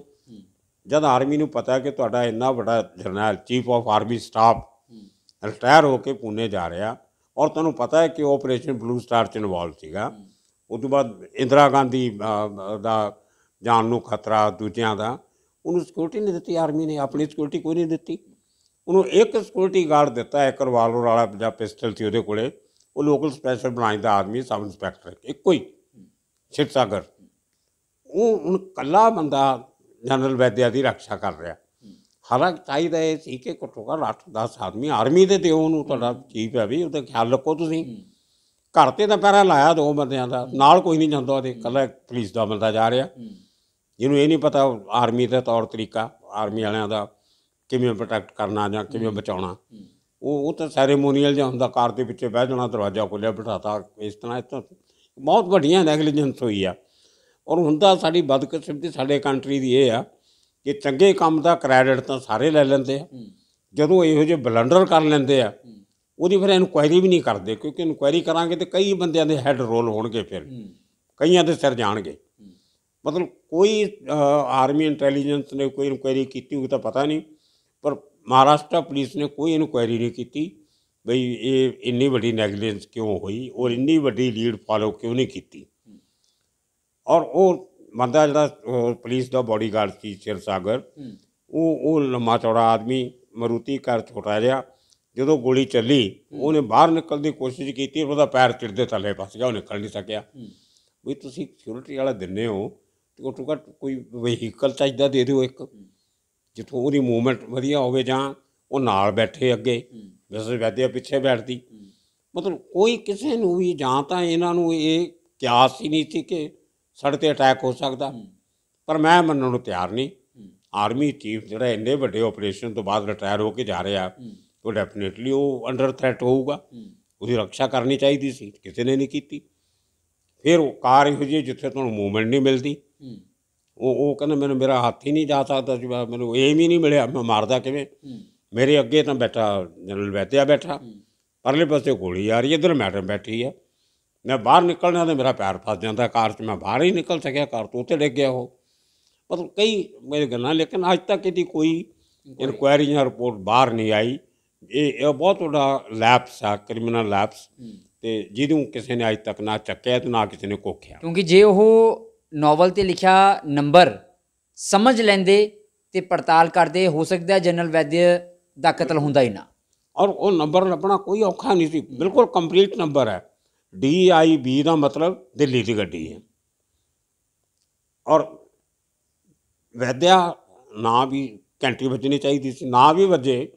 ਤੁਸੀਂ ਇਹਨੂੰ ਕੁਐਰੀ ਕਰਦੇ ਦਿੱਲੀ ਆਰਟੀਓ ਤੋਂ ਉਹਨੂੰ ਦੱਸ ਦੇਣਾ ਸੀ ਇਹ ਗੱਡੀ ਜਨਰਲ ਵੈਦਿਆ ਦੀ ਗੱਡੀ ਹੈ ਉਹਨਾਂ ਦੀ ਵਾਈਫ ਦੇ ਨਾਂ ਤੇ। ਸਰ ਲੇਕਿਨ ਜਿੰਦਾ ਤੇ ਸੁੱਖਾ ਦੇ ਸੋਰਸਿਸ ਬੜੇ ਸਟਰੋਂਗ ਸੀ ਜਿਨ੍ਹਾਂ ਨੇ ਆਰਮੀ ਦੇ ਜਨਰਲ ਦਾ ਸਾਰਾ ਚਿੱਠਾ ਹੀ ਕਢਵਾ ਲਿਆ ਜੀ ਉਹਨਾਂ ਦੀ ਗੱਡੀ ਦਾ ਨੰਬਰ ਉਹਨਾਂ ਦਾ ਐਡਰੈਸ ਵੀ ਕਢਵਾ ਲਿਆ ਰਿਟਾਇਰ ਹੋਣ ਤੋਂ ਬਾਅਦ ਉਹਨਾਂ ਨੇ ਕਿੱਥੇ ਜਾਣਾ ਹੈ। ਕਿਉਂਕਿ ਉਹਨਾਂ ਦਾ ਬਹੁਤ ਤਗੜਾ ਇੱਕ ਤੁਸੀਂ ਕਹਿ ਸਕਦੇ ਹੋ ਸੋਰਸ ਸੀ। ਇਹ ਇਹ ਇਸ ਗੱਲ ਦੀ ਵੀ ਅੱਜ ਤੱਕ ਕਿਸੇ ਏਜੰਸੀ ਨੇ ਇਹ ਜ਼ਾਹਿਰ ਨਹੀਂ ਕੀਤਾ ਕਿ ਇੰਨਾ ਵੱਡੀ ਬਰੀਚ ਜਿਹੜੀ ਉਹ ਕਿਵੇਂ ਹੋਈ। ਇੱਕ ਪ੍ਰਾਈਵੇਟ ਆਦਮੀ ਜਾਂ ਤਾਂ ਇਹ ਜਿਹਨੂੰ ਕੋਈ ਅੰਦਰਲਾ ਬੰਦਾ ਦਊਗਾ ਅੰਦਰਲਾ ਬੰਦਾ ਕੌਣ ਹੋ ਸਕਦਾ? ਉਹ ਕਿਸੇ ਨੇ ਕੁਝ ਕੀਤੀ ਮਤਲਬ ਬਾਹਰ ਜੇ ਕੀਤੀ ਹੋਈ ਤਾਂ ਬਾਹਰ ਨਹੀਂ ਆਈ ਅੱਜ ਤੱਕ। ਤੇ ਇਹ ਇਹ ਬੜਾ ਬਹੁਤ ਵੱਡੇ ਲੈਪਸ ਆ। ਇਹ ਵੈਸੇ ਕੰਮ ਇੰਨਾ ਔਖਾ ਵੀ ਨਹੀਂ ਆ। ਤੁਸੀਂ ਮਤਲਬ, ਜਦੋਂ ਆਦਮੀ ਛੱਡ ਕੇ ਜਾਂਦਾ ਤਾਂ ਟਰੱਕਾਂ, ਟਰੁੱਕਾਂ, ਸਮਾਨ ਜਾਂਦਾ, ਉਹ ਤਾਂ ਪਤਾ ਲੱਗ ਜਾਂਦਾ। ਪਰ ਪਹਿਲਾਂ ਪਤਾ ਲੱਗਣਾ ਕਿ ਇਹਨੇ ਪੂਨੇ ਜਾਣਾ ਗੱਡੀ ਦੇ ਨੰਬਰ ਲੈ ਕੇ ਰੱਖਿਆ। ਤੇ ਉਹ ਕਿਤੇ ਨਾ ਕਿਤੇ ਕੋਈ ਅੰਦਰਲਾ ਬੰਦਾ ਕੋਈ ਇਨਵੋਲਡ ਹੋਊਗਾ ਜ਼ਰੂਰ। ਜਾਂ ਇਹਨਾਂ ਦਾ ਜਿਹੜਾ ਟੈਰਰਿਸਟ ਨੈਟਵਰਕ ਹੁੰਦਾ ਇਹਨਾਂ ਦੇ ਕੋਈ ਇਹੋ ਜਿਹੇ ਬੰਦੇ ਵੀ ਸਲੀਪਰ ਸੈੱਲ ਹੁੰਦੇ ਜਿਹੜੇ ਇਹੋ ਜਿਹਾ ਕੰਮ ਕਰਦੇ ਉਹ ਸਾਹਮਣੇ ਨਹੀਂ ਆਉਂਦੇ। ਉਹ ਬਸ ਹੋਇਆ ਕਿ ਨਹੀਂ ਹੋਇਆ ਉਹ ਪਤਾ ਨਹੀਂ ਕਿਸੇ ਨੂੰ। ਪਰ ਸਰ ਜਿੰਦਾ ਜਿੰਦਾ ਸੁੱਖਾ ਦੇ ਨਾਮ ਏਸ਼ੀਆ ਦੀ ਸਭ ਤੋਂ ਵੱਡੀ ਬੈਂਕ ਟਕੈਤੀ ਵੀ ਹੈਗੀ ਹੈ ਪੰਜਾਬ ਨੈਸ਼ਨਲ ਬੈਂਕ ਲੁਧਿਆਣੇ ਜ਼ਿਲ੍ਹੇ 'ਚ ਉਹਨਾਂ ਨੇ ਕਿਤੇ ਕੀਤੀ ਸੀ 5 ਕਰੋੜ ਤੋਂ ਜ਼ਿਆਦਾ ਦੀ ਪੌਣੇ 6 ਕਰੋੜ ਦੀ। ਉਹ ਉਹ ਉਹ ਕਦੋਂ ਦੀ ਉਹ ਇਨ ਬਿਟਵੀਨ ਹੀ ਹੈਗੇ ਸਾਰਾ ਕੁਝ ਉਹ ਇਹ- ਇਹਨਾਂ ਦਿਨਾਂ ਦੀ ਹੈ ਕਿਤੇ ਮੈਂ ਉਹਦੇ ਬਾਰੇ ਸਟੱਡੀ ਨਹੀਂ ਕੀਤੀ ਕਿਉਂਕਿ ਕੋਈ ਇਸ ਕੇਸ ਨਾਲ ਰਿਲੇਟਡ ਨਹੀਂ ਸੀ। ਪਰ ਉਹ ਉਹ ਜਿਹੜਾ ਜੱਜਮੈਂਟ ਹੈ ਕਾਪੀ ਦੀ ਜਿਹੜੀ ਟਾਰਾ ਕੋਰਟ ਨੇ ਜਿਹੜੀ ਜੱਜਮੈਂਟ ਹੈ ਜੀ। ਉਹਦੇ 'ਚ ਮੈਂਸ਼ਨ ਹੈ ਕਿ ਇਹਨਾਂ ਨੇ ਦਾ ਇੰਡੀਅਨ ਹਿਸਟਰੀ ਸਭ ਤੋਂ ਵੱਡੀ ਬੈਕ ਡਕੈਤੀ ਹੈ ਜਿਹੜੀ ਉਹ ਉਹ 'ਚ ਜਿੰਦਾ ਇਨਵੋਲਵ ਸੀਗਾ। ਤੇ ਜਿਹੜੇ ਜਿਹੜੇ ਕਾਂਗਰਸੀ ਲੀਡਰਾਂ ਨੂੰ ਮਾਰਿਆ ਸੀ ਜੀ ਇੱਕ ਮਾਕਰ ਨੂੰ ਮਾਰਿਆ ਜੀ ਇੱਕ ਦਾਸ ਨੂੰ ਉਹ ਉਹ ਇਨ ਬਿਟਵੀਨ ਮਾਰਿਆ? ਉਹ ਵੀ ਇਨ ਬਿਟਵੀਨ ਮਾਰਿਆ। ਉਹ ਤੋਂ ਬਾਅਦ ਤਾਂ ਫਿਰ ਜੇਲ੍ਹ ਚੋਂ ਤਾਂ ਜਦੋਂ ਇੱਥੋਂ ਭੱਜੇ ਹੈ ਜਨਰਲ ਵੈਦਿਆ ਦੇ ਮਰਡਰ ਤੋਂ ਬਾਅਦ ਜਿੰਦਾ ਭੱਜ ਗਿਆ ਸੀ ਉਹ ਨਹੀਂ ਫੜਿਆ ਗਿਆ। ਸੁੱਖਾ ਤੇ ਨਿੰਮਾ ਫੜੇ ਗਏ ਸੀਗੇ 12 13 ਅਗਸਤ ਨੂੰ। ਤੇ 30 ਅਗਸਤ ਨੂੰ ਸੁੱਖਾ ਜਿੰਦਾ ਫੜਿਆ ਗਿਆ ਉੱਥੋਂ ਮਜਨੂ ਦਾ ਟਿੱਲਾ ਤੋਂ। ਤੇ ਇਹ ਇਹ ਫੜੇ ਗਏ ਉਹਨਾਂ ਦਿਨਾਂ 'ਚ ਕਿਤੇ ਕੀਤਾ ਹੋਣਾ ਉਸ ਤੋਂ ਬਾਅਦ ਤਾਂ ਜੇਲ੍ਹ ਤੋਂ ਬਾਹਰ ਨਿਕਲਣ ਦਾ ਮਤਲਬ ਨਹੀਂਗਾ ਜੇਲ੍ਹ ਤੋਂ ਬਾਹਰ ਮੇਰੇ ਖਿਆਲ ਚ ਜਿਹੜੇ ਮਾਕਨ ਸੀਗੇ ਉਹਨਾਂ ਦਾ 84 ਦੇ ਵਿੱਚ ਹੀ ਮੇਰੇ ਖਿਆਲ ਚ ਉਦੋਂ ਕਤਲ ਕਰ ਦਿੱਤਾ ਗਿਆ ਸੀ। ਨਹੀਂ ਨਹੀਂ 84 ਤੋਂ ਉਹ ਇਹਨਾਂ ਨੂੰ ਇਹ ਸੀ ਵੀ ਲਲਿਤ ਮਾਕਨ ਦਾ ਹੱਥ ਸੀਗਾ ਸਿੱਖਾਂ ਦੇ ਕਤਲ। ਉਹ ਬਾਅਦ ਮਾਰਿਆ 84 31 ਜੁਲਾਈ 1985 31 ਨੂੰ 85 ਨੂੰ ਹਾਂ। ਤਾਂ ਜਦੋਂ ਇੱਥੋਂ ਬੰਬੇ ਤੋਂ ਗਏ ਖਾਲਸਾ ਕਾਲਜ ਤੋਂ ਉਦੋਂ ਹੀ ਕਿਤੇ ਇੱਥੇ ਆਉਣ ਤੋਂ ਪਹਿਲਾਂ ਉਹ ਉਹ ਕੰਮ ਕਰਕੇ ਆਏ ਆ। ਜੀ ਜੀ ਜੀ ਦਿੱਲੀ ਵਾਲਾ ਕਰਨ ਤੋਂ ਬਾਅਦ ਰਾਜਸਥਾਨ ਆਏ ਆ ਮੇਰਾ ਖਿਆਲ। ਹੈ ਉਹ ਵੀ ਰਾਜਸਥਾਨ ਡਕੈਤੀ ਕੀਤੀ। ਉਹ ਉਹ ਉਹਨਾਂ ਦਿਨਾਂ ਦੀ ਗੱਲ ਸਾਰੀ। 85 ਦੇ ਬੰਬੇ ਆਏ ਫਿਰ ਇਹ ਅਗਸਤ। ਅੱਛਾ ਫਿਰ ਜਦੋਂ ਉੱਥੇ ਜਿਵੇਂ ਮੈਂ ਆਪਾਂ ਸ਼ੁਰੂਆਤ ਵਿੱਚ ਵੀ ਦੱਸਿਆ ਤੁਸੀਂ ਇਨਵੈਸਟੀਗੇਟਿਵ ਜਰਨਲਿਜ਼ਮ ਕਰਦੇ ਰਹੇ ਹੋ ਤੁਸੀਂ ਅੰਡਰਵਰਲਡ ਦੇ ਜਿਹੜੇ ਵੱਡੇ ਨਾਮ ਨੇ ਜਾਂ ਕਹਿ ਲਓ ਬਦਨਾਮ ਨੇ ਉਹਨਾਂ ਦੇ ਨਾਲ ਵੀ ਤੁਸੀਂ ਉੱਠੇ ਬੈਠੇ ਤੇ ਤੁਹਾਨੂੰ ਪੁਲਿਸ ਨੇ ਇਸ ਮਾਮਲੇ ਦੇ ਵਿੱਚ, ਕਿਉਂਕਿ ਤੁਸੀਂ ਕਿਹਾ ਵੀ ਸਿੱਖਾਂ ਨੂੰ ਉਦੋਂ ਟਾਰਗੇਟ ਕੀਤਾ ਜਾ ਰਿਹਾ ਸੀ, ਇਸ ਮਾਮਲੇ ਦੇ ਵਿੱਚ ਬੀਇੰਗ ਅ ਪੰਜਾਬੀ, ਤੁਹਾਨੂੰ ਪੁਲਿਸ ਨੇ ਟਾਰਚਰ ਨਹੀਂ ਕੀਤਾ, ਤੁਹਾਨੂੰ ਥਾਣੇ ਬੁਲਾਉਂਦੇ ਹੋਣ ਵੀ ਤੁਸੀਂ ਆਓ ਇਨਵੈਸਟੀਗੇਸ਼ਨ ਜੁਆਇਨ ਕਰੋ, ਜਾਂ ਤੁਸੀਂ ਦੱਸੋ ਤੁਹਾਡੇ ਗੁਆਂਢੀ ਸੀ, ਤੁਹਾਡੇ ਥ- ਉੱਪਰ ਵਾਲੇ ਫਲੈਟ 'ਚ ਰਹਿੰਦੇ ਸੀ, ਤੁਹਾਨੂੰ ਕਿਵੇਂ ਨਹੀਂ ਪਤਾ। ਉਹ ਬੰਦਾ, ਉਹ ਬਲਜੀਤ ਪਰਮਾਰ, ਜਿਨ੍ਹਾਂ ਨੂੰ ਅੰਡਰਵਰਲਡ ਦੀ ਇੱਕ ਗੱਲ ਦੀ ਨੌਲੇਜ ਹੁੰਦੀ ਸੀ, ਪਤਾ ਹੁੰਦਾ ਸੀ, ਉਹਨੂੰ ਇਹ ਨਹੀਂ ਪਤਾ ਲੱਗਿਆ ਵੀ ਮੇਰੇ ਉਤਲੇ ਫਲੈਟ ਤੇ ਜਿੰਦਾ ਤੇ ਸੁੱਖਾ ਰਹਿੰਦੇ ਨੇ। ਜਿਨ੍ਹਾਂ ਨੇ ਜਨਰਲ ਵੈਦਿਆ ਨੂੰ ਮਾਰੇ। ਇਹ ਤੋਂ ਦੋ ਗੱਲਾਂ। ਪਹਿਲੀ ਗੱਲ ਤੇ ਹੈ ਕਿ ਮੈਂ ਆਮ ਨਾਟ ਅ ਕਾਪ ਮੇਰਾ ਇਹ ਕੋਈ ਕੰਮ ਨਹੀਂ ਹੈ ਮੈਂ ਕਿਸੇ ਦੀ ਪ੍ਰਾਈਵੇਸੀ ਦਖਲ ਦਿਆਂ। ਇਹ ਇਹ it's it's a crime in itself ਕਿ ਤੁਸੀਂ ਦੂਜਿਆਂ ਦੀਆਂ ਖਿੜਕੀਆਂ 'ਚ ਝਾਕੋ। ਇਹ ਜ਼ੁ- ਆਪਣੇ ਆਪ 'ਤੇ ਜ਼ੁਲਮ ਹੈ। ਜੁਰਮ ਹੈ। ਤੇ ਦੂਜੀ ਗੱਲ ਇਹ ਹੈ ਕਿ ਮੈਂ ਰੱਬ ਨਹੀਂ ਆ ਕਿ ਹਰ ਪਾਸੇ ਦੇਖ ਸਕਾਂ। ਮੈਂ ਤਾਂ ਇੱਕ ਆਮ ਆਰਡੀਨਰੀ ਪੰਜ ਤੱਤ ਦਾ ਪੂਤਲਾ। ਤੁਹਾਡੇ ਵਰਗਾ ਮੈਂ ਤੇ ਮੇਰੇ ਵਰਗੇ ਉਹ। ਨਹੀਂ ਸਰ ਪੁਲਿਸ ਨੇ ਤੁਹਾਨੂੰ ਤੰਗ ਨਹੀਂ ਕੀਤਾ? ਸਾਨੂੰ ਤਾਂ ਪਤਾ ਹੈ ਲੇਕਿਨ ਪੁਲਿਸ ਨੇ ਤੁਹਾਨੂੰ ਇਹ ਨਹੀਂ ਕਿਹਾ ਵੀ ਪਰਮਾਰ ਸਾਹਿਬ ਤੁਹਾਡੇ ਕੋਲ ਤਾਂ ਹਰ ਇੱਕ ਚੀਜ਼ ਦੀ ਇਨਫੋਰਮੇਸ਼ਨ ਰਹਿੰਦੀ ਹੈ ਤੁਸੀਂ ਉੜਦੀ ਹੋਈ ਚਿੜੀ ਦੇ ਪਰ ਵੀ ਗਿਣ ਲੈਂਦੇ ਹੋ। ਤੁਹਾਨੂੰ ਇਹ ਨਹੀਂ ਪਤਾ ਲੱਗਿਆ। ਮੈਂ ਮੈਂ ਉਹੀ ਦੱਸ ਰਿਹਾ। ਇੱਕ ਦੋ ਵਾਰੀ ਜਦੋਂ ਥੋੜਾ ਜਿਹਾ ਮੈਨੂੰ ਹਿੰਟ ਦਿੱਤਾ ਉਹਨਾਂ ਨੇ ਤੇ ਮੈਂ ਉਹਨੂੰ ਇਹੀ ਕਿਹਾ ਮੈਂ ਕਿਹਾ ਤੁਸੀਂ ਆਪਣੀ ਜ਼ਿੰਮੇਵਾਰੀ ਮੇਰੇ ਸਿਰ ਤੇ ਪਾ ਰਹੇ ਹੋ। ਜਿਹੜੀਆਂ ਤੁਹਾਤੋਂ ਗਲਤੀਆਂ ਹੋਈਆਂ ਉਹ ਮੇਰਾ ਨਾਂ ਲੈ ਕੇ ਢਕਣੀਆਂ ਚਾਹੁੰਦੇ ਹੋ। ਹਾਂ। ਪਰ ਮੇਰੀ ਇਨਕੁਆਇਰੀ ਪੂਰੀ 6 ਮਹੀਨੇ ਕਰਦੇ ਰਹੇ ਆ ਉਹ। ਉਹ ਮੈਨੂੰ ਨਾਲ ਦੀ ਨਾਲ ਪਤਾ ਲੱਗ ਜਾਂਦਾ ਸੀ ਪਰ ਮੈਂ ਪਰਵਾਹ ਨਹੀਂ ਕੀਤੀ ਕਿਉਂਕਿ ਮੇਰੇ ਕੋਲੇ ਛੁਪਾਉਣ ਲਈ ਕੁਝ ਨਹੀਂ ਸੀ।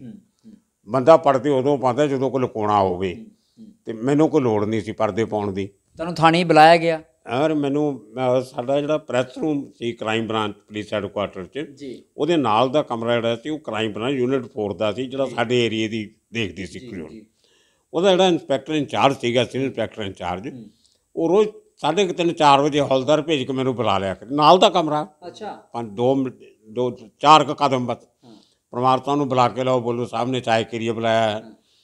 ਮੈਂ ਜਾਣਾ ਮੈਨੂੰ ਚਾਹ ਪਿਆਉਣੀ ਬਿਸਕੁਟ ਖਵਾਉਣੇ ਕਦੇ ਸਮੋਸੇ ਵੀ ਮੰਗਾ ਕੇ ਰੱਖਣੇ। ਤੇ ਪੁੱਛਦੇ ਕੀ ਸੀ ਤੁਹਾਨੂੰ?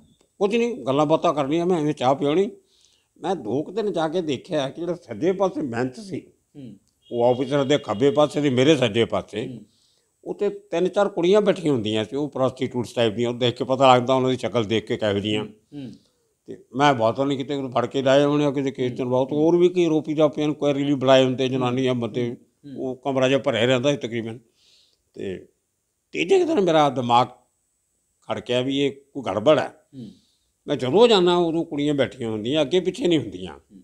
ਜਦੋਂ ਮੈਂ ਆ ਕੇ ਆਪਣੀ ਕੁਰਸੀ ਤੇ ਬਹਿਣਾ ਪ੍ਰੈਸ ਰੂਮ 'ਚ ਉਹ 2-4 ਮਿੰਟਾਂ ਬਾਅਦ ਉਹ ਭੱਜੀਆਂ ਜਾਂਦੀਆਂ ਹੁੰਦੀਆਂ ਜਿਵੇਂ ਕੋਈ ਬਾਹਰ ਉਹਦੀ ਜਾਨ ਬਚੀ ਵੀ ਸਾਡਾ ਛੁਟਕਾਰਾ ਹੋਇਆ ਜਾਈਏ। ਮੈਂ ਦੋ ਦਿਨ ਨੋਟ ਕੀਤਾ ਵੀ ਮੇਰੇ ਜਾਣ ਤੋਂ ਵੀ ਭੱਜ ਜਾਂਦੀ ਹੈ ਕੋਈ ਚੱਕਰ ਜ਼ਰੂਰ ਹੈ ਤੀਜੇ ਦਿਨ ਜਦੋਂ ਹੌਲਦਾਰ ਬੁਲਾਉਣ ਆਇਆ, ਫਿਰ ਮੈਨੂੰ ਤੀਜੇ, ਚੌਥੇ ਦਿਨ ਸਾਹਿਬ ਨੇ ਚਾਹ ਕੇ ਲਈ ਬੁਲਾਇਆ। ਮੈਂ ਕਿਹਾ ਪਹਿਲਾਂ ਮੇਰੀ ਗੱਲ ਸੁਣੇ ਇੱਧਰ ਆ। ਮੈਂ ਉਹਦੇ ਮੋੜੇ ਤੇ ਹੱਥ ਰੱਖ ਕੇ ਕੰਟੀਨ ਨਾਲ ਨੂੰ ਲੈ ਗਿਆ। ਮੈਂ ਕਿਹਾ, ਚਾਹ ਤਾਂ ਮੈਂ ਇੱਥੇ ਵੀ ਪੀ ਸਕਦਾ। ਮੈਨੂੰ ਦੱਸ ਵੀ ਸਾਹਿਬ ਮੈਨੂੰ ਬੁਲਾਉਂਦਾ ਕਿਉਂ ਹੈ? ਕੀ ਚੱਕਰ ਹੈ ਇਹ? ਉਹ ਕਹਿੰਦਾ ਜੀ ਉਹ ਜਿੰਦਾ ਸੁੱਖਾ ਦੇ ਚੱਕਰ ਚ ਕੁੜੀਆਂ ਜਿਹੜੀਆਂ ਉੱਤੇ ਜਾਂਦੀਆਂ ਰਹੀਆਂ ਇਹ ਉਹਨਾਂ ਨੂੰ ਬੁਲਾ ਕੇ ਰੱਖਦਾ ਸਾਹਿਬ ਨੇ ਉੱਤੇ ਪੁੱਛਦਾ ਵੀ ਆਹ ਜਿਹੜਾ ਐਨਕ ਵਾਲਾ ਬੰਦਾ ਮੇਰੇ ਸਾਹਮਣੇ ਬੈਠਾ ਸੀ ਚਾਹ ਪੀ ਕੇ ਗਿਆ ਇਹਨੂੰ ਕਦੇ ਦੇਖਿਆ ਜੀ ਤੁਸੀਂ? ਨਹੀਂ ਨਹੀਂ ਮੈਂ ਸਰ ਟੋਕਾਂਗਾ ਤੁਸੀਂ ਗੱਲ ਕਰ ਰਹੇ ਹੋ ਜਿਹੜੀ ਪ੍ਰੋਸਟੀਟਿਊਟਸ ਨੂੰ ਉੱਥੇ ਬੁਲਾਇਆ ਜਾਂਦਾ ਸੀ ਥਾਣੇ ਦੇ ਵਿੱਚ। ਤੇ ਉਹਨਾਂ ਦਾ ਉਹਨਾਂ ਦਾ ਸੁੱਖਾ ਤੇ ਜਿੰਦਾ ਦੇ ਨਾਲ ਲੈਣਾ ਦੇਣਾ ਕੀ ਹੈ? ਉਹ ਇਹਨਾਂ ਦੇ ਕਹਿੰਦੇ ਕਮਰੇ ਜਾਂਦੀਆਂ ਰਹੀਆਂ ਸੀ ਨਾ ਪਹਿਲਾਂ। ਜਿੰਦਾ ਸੁੱਖਾ ਦੇ ਕਮਰੇ 'ਚ ਬੜੀਆਂ ਕੁੜੀਆਂ ਕੜੀਆਂ ਆਉਂਦੀਆਂ ਸੀ ਇਹੋ ਜੀਆਂ ਉਹ ਉਹ ਉਹ ਜੱਜਮੈਂਟ 'ਚ ਵੀ ਹੈਗਾ ਉਹ ਚਾਰ ਸ਼ੀਟ 'ਚ ਵੀ ਹੈਗਾ ਸਾਰਾ। ਐਕਚੁਅਲੀ ਉਹਨਾਂ 'ਚੋਂ ਇੱਕ ਜਿਹੜੀ ਹੈ ਉਹ ਕੇਸ ਦੇ ਐਂਡ ਤੱਕ ਗਵਾਹ ਵੀ ਰਹੀ ਆ। ਪ੍ਰੋਸਟੀਟਿਊਟ ਪ੍ਰੋਸਟੀਟਿਊਟ ਉਹ ਲਿਖਿਆ ਹੋਇਆ ਜੱਜਮੈਂਟ ਲਿਖਿਆ ਹੋਇਆ ਵਨ ਪ੍ਰੋਸਟੀਟਿਊਟ ਹੀਰਾ ਸਿਨਾ। ਉਹਦਾ ਨਾਮ ਵੀ ਲਿਖਿਆ ਹੋਇਆ ਹੀਰਾ ਸਿਨਾ। ਉਹ ਪੜ੍ਹੀ ਲਿਖੀ ਸੀ ਬਾਕੀ ਅਨਪੜ੍ਹ ਗਈਆਂ ਸੀ। ਉਹਨਾਂ ਨੂੰ ਪਹਿਲਾਂ ਸੱਤ ਵਿਟਨਸ ਬਣਾਈਆਂ ਸੀ। ਲੇਕਿਨ ਸੱਤਾਂ ਦੇ 6 ਮੁੱਕਰ ਗਈਆਂ ਮਤਲਬ ਸੱਤ ਵਿਟਨੈਸ ਬਣਾਈਆਂ ਸੀ ਮਤਲਬ ਕਿ ਕੁੜੀਆਂ ਜ਼ਿਆਦਾ ਹੋਣੀਆਂ ਨੇ ਜੋ ਕਮਰੇ 'ਚ ਜਾਂਦੀਆਂ ਸੀ। ਉਹਨਾਂ ਚੋਂ ਸੱਤ ਚੁਣੀਆਂ ਸੀ ਜਿਹੜੀਆਂ ਪੁਲਿਸ ਨੂੰ ਲੱਗੀਆਂ ਕਿ ਇਹ ਗਵਾਹੀ ਬਰਾਬਰ ਦੇ ਸਕਦੀਆਂ। ਤੁਸੀਂ ਕਦੇ ਉਹਨਾਂ ਦੇ ਫਲੈਟ ਵਿੱਚ ਆਂਦੀਆਂ ਜਾਂਦੀਆਂ ਕੁੜੀਆਂ ਵੀ ਨਹੀਂ ਦੇਖੀਆਂ? ਆ ਉਹਨਾਂ ਕੁੜੀਆਂ ਤੋਂ ਪੁੱਛਦੇ ਸੀ ਵੀ ਆਹ ਬੰਦਾ ਜਿਹੜਾ ਬੁਲਾਇਆ ਸੀ ਇਹ ਕਿਤੇ ਜਿੰਦੇ ਸੁੱਖੇ ਦੇ ਕਮਰੇ 'ਚ ਦੇਖਿਆ ਤੁਸੀਂ ਕਦੇ? ਅੱਛਾ। ਇਹਨੂੰ ਜਾਂ ਉੱਥੇ ਕਿਤੇ ਨੇੜੇ ਤੇੜੇ ਘੁੰਮਦੇ ਦੇਖਿਆ? ਉਹ ਇਨਕੁਆਇਰੀ ਕਹਿੰਦੇ ਸੀ ਕਿ ਮੇਰਾ ਜਿੰਦਾ ਸੁੱਖੇ ਨਾਲ ਕੋਈ ਰਿਸ਼ਤਾ ਹੈ ਕਿ ਨਹੀਂ ਹੈ। ਤਾਂ ਚਾਹ ਦੇ ਬਹਾਨੇ ਤੁਹਾਨੂੰ ਬੁਲਾਉਂਦੇ ਸੀ? ਚਾਹ ਦੇ ਬਹਾਨੇ ਬੁਲਾਉਂਦੇ ਸੀ। ਉਹ ਨਹੀਂ ਹੋਇਆ ਫਿਰ ਉਹ ਨਹੀਂ ਪਤਾ ਲੱਗਿਆ। ਫਿਰ ਉਹਨਾਂ ਨੇ ਮੇਰੀ ਚੁੱਪ ਚੁਪੀਤੇ ਇਨਕੁਆਇਰੀਆਂ ਕਰਨੀਆਂ ਸ਼ੁਰੂ ਕੀਤੀਆਂ। ਨਹੀਂ ਕੁੜੀਆਂ ਨੇ ਦੱਸਿਆ ਫਿਰ? ਉਹਨਾਂ ਜਿਹੜੀ ਪ੍ਰੋਸਟੀਟਿਊਟ ਸੀਗੀਆਂ ਉਹਨਾਂ ਨੇ ਦੱਸਿਆ ਤੁਹਾਡੇ ਬਾਰੇ? ਆਉਂ ਕਹਿੰਦੀ ਅਸੀਂ ਨਹੀਂ ਦੇਖਿਆ ਕਦੇ। ਅਸੀਂ ਬੰਦਾ ਨਹੀਂ ਦੇਖਿਆ ਕਿਤੇ ਉਹਨਾਂ ਤੇ ਘਰ ਤਾਂ ਚੱਲੋ ਕਿਤੇ ਆਲੇ ਦਾਲ ਵੀ ਨਹੀਂ ਦੇਖਿਆ ਸੀ ਕਿਤੇ ਪਹਿਲੀ ਵਾਰੀ ਦੇਖਿਆ ਇੱਥੇ ਤੇਰੇ ਕੋਲੇ। ਉਹ ਫਿਰ ਸਮਝ ਕੇ ਮੈਂ ਸੁੱਤਾ ਪਿਆ ਹੁੰਦਾ ਜਦੋਂ ਆਉਣਾ ਉਹਨਾਂ ਨੇ ਰਾਤ ਨੂੰ ਜਦੋਂ ਉਹ ਸਾਰੀ ਦੁਨੀਆ ਸੌਂਦੀ ਉਦੋਂ ਮੈਂ ਘਰ ਆਉਂਦਾ ਸੀ, ਮੈਨੂੰ ਕਿਹਨੇ ਦੇਖਣਾ? ਤੇ ਮੈਂ 1973 ਚ ਜਦੋਂ ਮੈਂ ਪੰਜਾਬ ਯੂਨੀਵਰਸਿਟੀ ਸਟੂਡੈਂਟ ਸੀ 72 ਚ, ਤੇ ਉਸ ਸਟੂਡੈਂਟ ਐਕਟੀਵਿਟੀ ਚ ਸਟ੍ਰਾਈਕ ਵਗੈਰਾ ਕੀਤੀ। ਉਹ ਇੱਕ ਤੋਂ ਬਾਤ ਬੁੱਤ ਭੰਨੀ ਸੀ, ਸਟੂਡੈਂਟ ਸੈਂਟਰ ਤੋੜਿਆ ਸੀ ਨਵਾਂ ਨਵਾਂ ਬਣਿਆ ਸੀ ਯੂਨੀਵਰਸਿਟੀ ਦਾ। ਇੱਕ ਹਾਰਟੀਕਲਚਰ ਡਿਪਾਰਟਮੈਂਟ ਦਾ ਟਰੈਕਟਰ ਪੁੱਠਾ ਸਿੱਧਾ ਕਰਤਾ ਸੀ। ਉਹ ਬਲਬ ਬਲਬ ਤੋੜਤੇ ਸੀ, ਇੰਜੀਨੀਅਰਿੰਗ ਕਾਲਜ ਵਾਲੇ ਸਟ੍ਰਾਈਕ ਨਹੀਂ ਸੀ ਕਰਦੇ। ਅਸੀਂ ਮੁੰਡੇ ਲੈ ਕੇ ਗਏ ਤੇ ਯੂਨੀਵਰਸਿਟੀ ਤੋਂ ਇੰਜੀਨੀਅਰਿੰਗ ਕਾਲਜ ਤੱਕ ਜਿੰਨੇ ਖੰਭੇ ਸੀ ਬਲਬਾਂ ਦੇ ਸਾਰੇ ਬਲਬ ਤੋੜਤੇ ਡਾਂਗਾ ਮਾਰ ਪੱਥਰ ਮਾਰ ਮਾਰ। ਇਹੋ ਜਿਹੇ ਨਿੱਕੇ ਮੋਟੇ ਚ ਕਈ ਕੇਸ 'ਚ 11 ਚੱਕਰ ਥਾਣੇ 'ਚ ਸੀਗੇ। ਤੇ ਪੁਲਿਸ ਵਾਲੇ ਲੱਭਦੇ ਹੁੰਦੇ ਤੰਗ ਕਰਦੇ ਸੀ। ਤੇ ਮੇਰੇ ਘਰਦਿਆਂ ਨੇ ਮੇਰੇ ਬਾਪ ਨੇ ਦੁਖੀ ਹੋ ਕੇ ਪੁਲਿਸ ਵਾਲਿਆਂ ਤੋਂ ਉਹਨੇ ਅਖਬਾਰ 'ਚ ਇਸ਼ਤਿਹਾਰ ਦੇ ਦਿੱਤਾ ਟ੍ਰਿਬਿਊਨ 'ਚ ਤੇ ਇੱਕ ਪੰਜਾਬੀ ਦੇ ਕਿਸੇ ਅਖਬਾਰ 'ਚ ਅੰਗਰੇਜ਼ੀ ਟ੍ਰਿਬਿਊਨ 'ਚ ਦੋ ਦੇਣੇ ਹੁੰਦੇ ਆ। ਮੇਰੀ ਫੋਟੋ ਵੀ ਛਾਪੀ ਹੋਈ ਸੀ ਉਸ ਜ਼ਮਾਨੇ ਜਿਹੜੀ ਸੀ ਕਿ ਮੈਂ ਬਲਜੀਤ ਪਰਮਾਰ ਤੋਂ ਸੁਹਣ ਤੋਂ ਮੇਰਾ ਇਹਨਾਂ ਕੋਈ ਰਿਸ਼ਤਾ ਨਹੀਂ ਆ ਅਸੀਂ ਇਹਨੂੰ ਘਰੋਂ ਕੱਢਿਆ ਹੋਇਆ। ਉਹ ਅਡਲਟ ਹੈ ਉਹ ਆਪਣੀਆਂ ਕਾਰਨਾਮਿਆਂ ਦਾ ਆਪ ਜ਼ਿੰਮੇਦਾਰ ਹੈ। ਉਹ ਇਹੋ ਜਿਹਾ। ਬੰਬੇ ਪੁਲਿਸ ਨੇ ਮੇਰੀ ਇਨਕੁਆਇਰੀ ਕਰਦੇ ਕਰਦੇ ਚੰਡੀਗੜ੍ਹ ਪਹੁੰਚ ਗਏ। ਉਹ ਥਾਣੇ ਦੇ ਇਸ਼ਤਿਹਾਰ ਵੀ ਕੱਢ ਲਿਆ ਤੇ ਮੈਨੂੰ ਦਿਖਾ ਕੇ ਕਹਿੰਦੇ ਵੀ ਇਹ- ਦੇਖ ਕੇ ਅਸੀਂ ਤਾਂ ਤੇਰੀ ਇਨਕੁਆਇਰੀ ਕੀਤੀ ਹੈ। ਪਰ 13 ਸਾਲ ਪੁਰਾਣਾ ਮਤਲਬ 1986 ਵਿੱਚ ਇਨਕੁਆਇਰੀ ਕੀਤੀ ਤੁਹਾਡਾ 1973 ਵਾਲਾ ਰਿਕਾਰਡ ਵੀ ਕਢਵਾ ਲਿਆ। 72 ਵਾਲਾ 72 ਦਾ 1972 ਦਾ। ਲੱਭਿਆ ਉਹਨਾਂ ਨੇ ਆ ਕੇ ਪੰਜਾਬ ਪੁਲਿਸ ਤੋਂ ਚੰਡੀਗੜ੍ਹ ਪੁਲਿਸ ਤੋਂ ਇਨਕੁਆਇਰੀਆਂ ਕੀਤੀਆਂ। ਉਹਨੂੰ ਵੀ ਪਤਾ ਲੱਗ ਗਿਆ ਮੈਂ ਕਿਹੜੇ ਹਸਪਤਾਲ 'ਚ ਰਹਿੰਦਾ ਸੀ ਕਿੱਥੇ ਰਹਿੰਦਾ ਸੀ। ਫਿਰ ਮੈਂ 7-8 ਮਹੀਨੇ ਭੱਜ ਕੇ ਕਲਕੱਤੇ ਚਲਿਆ ਗਿਆ ਸੀ ਪੁਲਿਸ ਤੋਂ ਭੱਜ ਕੇ। ਹੀ ਉਹ ਵੀ ਉਹਨਾਂ ਨੂੰ ਪਤਾ ਕੀਤਾ ਕਲਕੱਤੇ ਰਿਹਾ ਉੱਥੇ ਤੂੰ ਕਿਹੜੀ ਪ੍ਰੈਸ 'ਚ ਕੰਮ ਕੀਤਾ ਜਾ ਕੇ ਕਿੱਥੇ ਰਿਹਾ। ਸਭ ਪੂਰੀ ਇਨਕੁਆਇਰੀ ਕਰਦੀ ਤੇ ਫਾਈਨਲੀ ਜਿੰਦਾ ਸੁੱਖਾ ਦੇ ਨਾਲ ਕੋਈ ਤੁਹਾਡਾ ਕਨੈਕਸ਼ਨ ਨਿਕਲਿਆ? ਕੋਈ ਨਹੀਂ ਕੋਈ ਨਹੀਂ ਹੈ ਹੀ ਨਹੀਂ ਸੀ ਨਿਕਲਣਾ ਕਿੱਥੋਂ ਸੀ। ਇਸ ਕਰਕੇ ਪਲੀਨ ਨੂੰ ਕਹਿੰਦੇ ਪਲੀ- ਕਾਨੂੰਨ ਦੇ ਹੱਥ ਬੜੇ ਲੰਮੇ ਹੁੰਦੇ ਆ। ਤੇ ਜੇ ਤਾਂ ਮੈਂ ਕਈ ਵਾਰੀ ਇਕੱਲਾ ਬੈਠਾ ਸੋਚਦਾ ਹੁੰਦਾ ਸੀ ਵੀ ਜਿੰਨੀ ਪੁਲਿਸ ਨੇ ਮਿਹਨਤ ਮੇਰਾ ਉਹ ਉਹ ਇਸ਼ਤਿਹਾਰ ਘਰੋਂ ਕੱਢੇ ਦਾ ਇਸ਼ਤਿਹਾਰ ਲੱਭਣ ਚ ਕੀਤੀ, ਉਨ, ਉਹਨਾਂ ਉਹ ਅੱਧੀ ਕੋਸ਼ਿਸ਼ ਅਗਰ ਉਹ ਗੱਡੀ ਦਾ ਨੰਬਰ ਲੱਭਣ ਲਈ ਕਰ ਦਿੰਦੇ, ਤਾਂ ਸ਼ਾਇਦ ਜਨਰਲ ਵੈਦਿਆ ਨਾ ਮਰਦਾ। ਅਸੀਂ ਮਤਲਬ ਕਈ ਵਾਰੀ ਸਾਡੀਆਂ ਏਜੰਸੀਆਂ ਔਰ ਪੁਲਿਸ ਫੋਰਸ, ਉਹ ਮਤਲਬ ਚੋਰ ਦੇ ਭੱਜਣ ਤੋਂ ਬਾਅਦ ਦਰਵਾਜ਼ਾ ਬੰਦ ਕਰਦੇ ਆ। ਮਤਲਬ ਜਿਹੜਾ ਕੰਮ ਪਹਿਲਾਂ ਕਰਨਾ ਚਾਹੀਦਾ ਬਾਅਦ ਚ ਕਰਦੇ ਆ। ਉਹ ਫਿਰ ਬੜੇ ਵਿਚਾਰੇ ਬੇਗੁਨਾਹ ਰਗੜੇ ਜਾਂਦੇ ਆ। ਲੋਕਾਂ ਨੂੰ ਤਕਲੀਫ ਹੁੰਦੀ ਹੈ ਉਹਨਾਂ ਦੀ ਫੈਮਿਲੀ ਲਾਈਫ ਖਰਾਬ ਹੁੰਦੀ ਹੈ ਉਹ ਸੁਰਿੰਦਰ ਵਾਲੀਏ ਦਾ ਇਹ ਕਸੂਰ ਸੀ ਵੀ ਉਹਨੇ ਮੱਖਣੀ ਮਾਸੀ ਨੂੰ ਕਹਿ ਕੇ ਉਹਨੂੰ ਘਰ ਦਵਾਇਆ ਸੀ ਕਿਰਾਏ ਤੇ। ਉਹ ਵਾਲੀਏ ਨੂੰ ਇੰਨਾ ਵਿਚਾਰੇ ਨੂੰ ਦੁਖੀ ਕੀਤਾ। ਹਰ ਚੀਜ਼ਾਂ ਰਾਤ ਨੂੰ ਬੁਲਾ ਲਿਆ ਕਰਨਾ, ਪੂਰੀ ਰਾਤ ਬਿਠਾ ਕੇ ਰੱਖਣਾ। ਪਹਿਲਾਂ ਜਦੋਂ ਪਹਿਲੀ ਵਾਰ ਇਹਨੂੰ ਫੜਿਆ ਉਹ ਖੰਨੇ ਦਾ ਰਹਿਣ ਵਾਲਾ। ਉਹਨੂੰ ਖੰਨੇ ਉਹਨੂੰ ਮੋਬਾਈਲ ਫੋਨ ਵਗੈਰਾ ਨਹੀਂ ਸੀ ਹੁੰਦੇ ਲੈਂਡਲਾਈਨ ਨੰਬਰ ਬੜੀ ਔਖੇ ਮਿਲਦੇ ਸੀ। ਪੂਰੀ ਰਾਤ ਉਹਨੂੰ ਲੌਕਅਪ 'ਚ ਆਪਣਾ ਪੁਲਿਸ ਸਟੇਸ਼ਨ ਬਿਠਾ ਕੇ ਵਾਇਰਲੈਸ ਤੇ ਖੰਨੇ ਪੁਲਿਸ ਨਾਲ ਗੱਲਬਾਤ ਕੀਤੀ। ਖੰਨੇ ਦੀ ਪੁਲਿਸ ਸਿੰਦਰਵਾਲੀਏ ਦੇ ਘਰ ਗਈ। ਉਹਦੀ ਮਾਂ ਨੂੰ ਜਗਾਇਆ ਭੈਣਾਂ ਨੂੰ ਜਗਾਇਆ ਆਂਡੀਆਂ ਗੁਆਂਢੀਆਂ ਨੂੰ ਜਗਾਇਆ ਪੂਰੀ ਇਨਕੁਆਇਰੀ ਕੀਤੀ। ਉਹਨਾਂ ਨੇ ਕਿਹਾ ਵੀ ਨਹੀਂ ਇਹਦਾ ਕੋਈ ਤੇ ਲਾਣੇ ਦਾਣਾ ਨਹੀਂ ਆ ਇਹ ਸ਼ਰੀਫ ਆਦਮੀ ਹੈ। ਇਸ ਤਰ੍ਹਾਂ ਰਵੀ ਰਵਿੰਦਰ ਰਵੀ ਦੇ ਉਹਦਾ ਅਕਲੀਆ ਪਿੰਡ ਬਠਿੰਡੇ ਜ਼ਿਲ੍ਹੇ 'ਚ ਕਿਤੇ। ਉਹਦੇ ਅੱਧੇ ਪਿੰਡ ਨੂੰ ਜਗਾ ਲਿਆ ਰਾਤ ਨੂੰ ਪੁਲਿਸ ਵਾਲਿਆਂ ਨੇ ਬੰਬੇ ਤੋਂ ਵਾਇਰਲੈਸ ਸਰ ਸੁਰਿੰਦਰ ਸ਼ਿੰਦੇ ਦਾ ਵੀ ਕਿੱਸਾ ਸੁਣਨ ਚ ਆਇਆ ਸੀ। ਉਹ ਉਹ ਕੀ ਕਿੱਸਾ ਸੀ? ਸਰਿੰਦਰ ਚੰਦਾ ਵਿਚਾਰਾ ਕਿਤੇ ਫਿਲਮ ਦੀ ਸ਼ੂਟਿੰਗ ਕਰਨ ਗਿਆ ਸੀਗਾ। ਕੀ ਬਣੂ ਦੁਨੀਆ ਦਾ? ਫਿਲਮ ਬਣਨੀ ਸੀ ਮੇਰਾ ਗੱਲ ਗੁਰਦਾਸ ਮਾਨ ਹੀਰੋ ਸੀ ਉਹਦੇ 'ਚ। ਤੇ ਜਗਜੀਤ ਡਾਇਰੈਕਟ ਕਰ ਰਿਹਾ ਸੀ।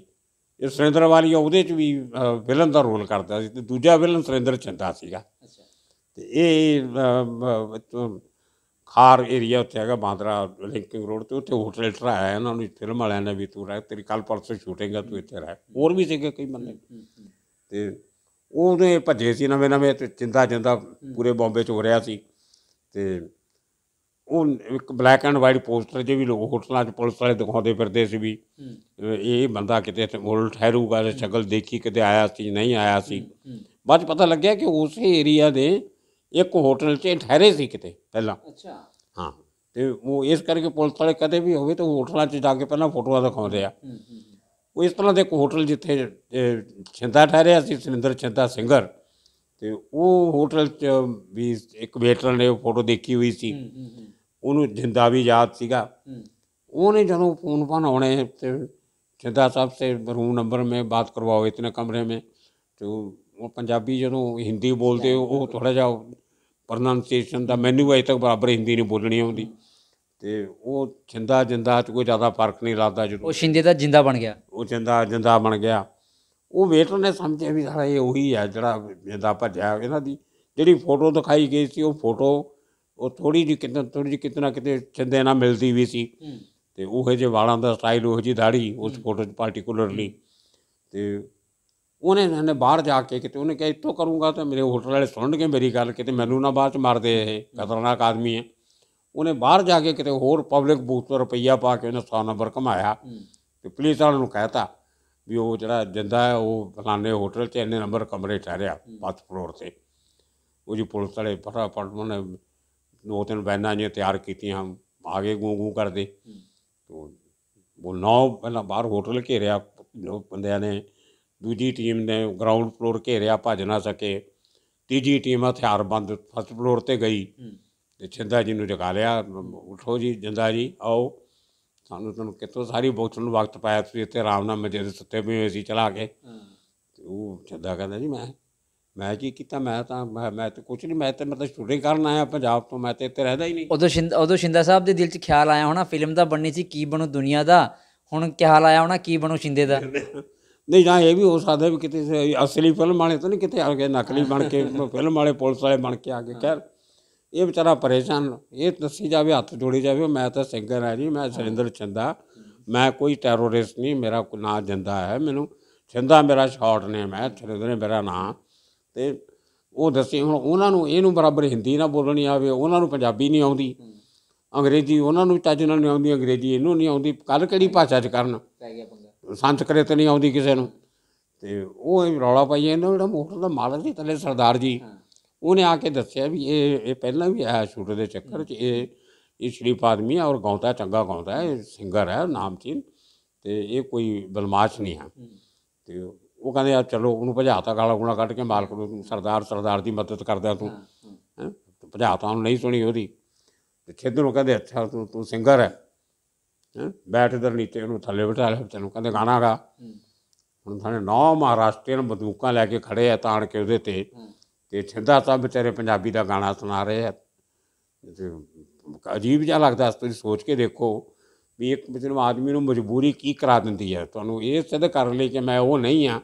ਤੁਸੀਂ ਪ੍ਰੂਵ ਕਰੋਗੇ ਤੁਸੀਂ ਕੌਣ ਹੋ? ਉਹ ਸ਼ੋਲੇ ਫਿਲਮ ਦਾ ਸਰ ਇੱਕ ਸੀਨ ਨਹੀਂ ਸੀਗਾ ਵੀ ਜਦ ਤੱਕ ਤੇਰੇ ਪੈਰ ਚੱਲਣਗੇ ਤਦ ਤੱਕ ਇਸकी सांसें ਚੱਲਣਗੀ ਪਤਾ ਨਹੀਂ ਪਰ ਉਹ ਵਿਚਾਰਾ ਇਹਨੇ ਨੂੰ ਉਹ ਮਾਲਕ ਨੇ ਵਿਚਾਰੇ ਨੇ ਥੱਲੇ ਜਾ ਕੇ ਸੁਨੀਲ ਦੱਤ ਸਾਹਿਬ ਨੂੰ ਫੋਨ ਕੀਤਾ ਦੱਤ ਸਾਹਿਬ ਨੇ ਡੀਸੀਪੀ ਨੂੰ ਫੋਨ ਕੀਤਾ। ਡੀਸੀਪੀ ਆਇਆ ਵਿਚਾਰਾ ਅੱਧੀ ਰਾਤੀ ਉਹਨੇ ਦੇਖ ਦੁੱਕੇ ਕਰਕੇ ਫਿਰ ਸਿੰਦਰ ਚੰਦਾ ਦੀ ਜਾਨ ਬਚਾਈ ਛੜਾਈ ਉੱਥੋਂ। ਇਹੋ ਜਿਹੀਆਂ ਕਈ ਮਤਲਬ ਗਰੀਬਾਂ ਸਰ ਅਸਾਂ ਸੁਣਨ ਚ ਇਹ ਵੀ ਆਇਆ ਸੀ ਵੀ ਸੁੱਖਾ ਤੇ ਜਿੰਦਾ ਨੂੰ ਤਿੰਨ ਮੌਕੇ ਵੀ ਮਿਲੇ ਬਈ ਹੋ ਸਕਦਾ ਸੀ ਉਹਨਾਂ ਨੂੰ ਸਜ਼ਾ ਨਾ ਮਿਲਦੀ ਉਹ ਬਚ ਜਾਂਦੇ। ਪਰ ਉਹਨਾਂ ਨੇ ਬਚਣਾ ਨਾਮਨਜ਼ੂਰ ਕੀਤਾ। ਉਹ ਜੱਜ ਨੇ ਮੌਕਾ ਦਿੱਤਾ ਸੀ ਉਹਨਾਂ ਨੂੰ ਕਿ ਦੇਖੋ ਕਾਨੂੰਨਨ ਜਿਹੜਾ ਕੇਸ ਹੈ ਜੀ। ਉਹ ਜਿਹੜੀ ਪੁਲਿਸ ਹੈ ਉਹ ਇਹ ਬਿਨਾਂ ਡਾਊਟ ਤੋਂ ਜੀ। ਸਿੱਧ ਕਰਨ ਚ ਨਾਕਾਮ ਰਹੀ ਹੈ ਕਿ ਇਹ ਮਰਡਰ ਤੁਸੀਂ ਕੀਤਾ। ਜੀ। ਕੀਤਾ ਤੁਸੀਂ ਆ? ਜੀ। ਪਤਾ ਸਾਰਿਆਂ ਨੂੰ ਪਰ ਪੁਲਿਸ ਸਿੱਧ ਨਹੀਂ ਕਰ ਸਕੀ। ਕੋਈ ਗਵਾਹ ਪੁਖਤਾ ਨਹੀਂ ਪੇਸ਼ ਕਰ ਸਕੀ। ਗਵਾਹਾਂ ਦੇ ਬਿਆਨਾਂ 'ਚ ਫ਼ਰਕ ਹੈ। ਉਹ ਇੱਕ ਦੂਜੇ ਦੇ ਖਿਲਾਫ ਬਿਆਨ ਜਾ ਰਹੇ ਆ। ਕੋਈ ਕਹਿੰਦਾ ਮੋਟਰਸਾਈਕਲ ਕਾਲੇ ਰੰਗ ਦਾ, ਕੋਈ ਕਹਿੰਦਾ ਲਾਲ ਰੰਗ ਦਾ, ਕੋਈ ਕਹਿੰਦਾ ਗੋਲੀ ਖੱਬੇ ਪਾਸੇ ਮਾਰੀ, ਕੋਈ ਕਹਿੰਦਾ ਇਹਨੇ ਮਾਰੀ, ਦੂਜਾ ਕਹਿੰਦਾ ਉਹਨੇ ਮਾਰੀ। ਮਿਸਿਸ ਵੈਦਿਆ ਦਾ ਕੁਝ ਬਿਆਨ ਹੋਰ ਹੈ, ਬਾਡੀਗਾਰਡ ਦਾ ਕੁਝ ਹੋਰ ਹੈ।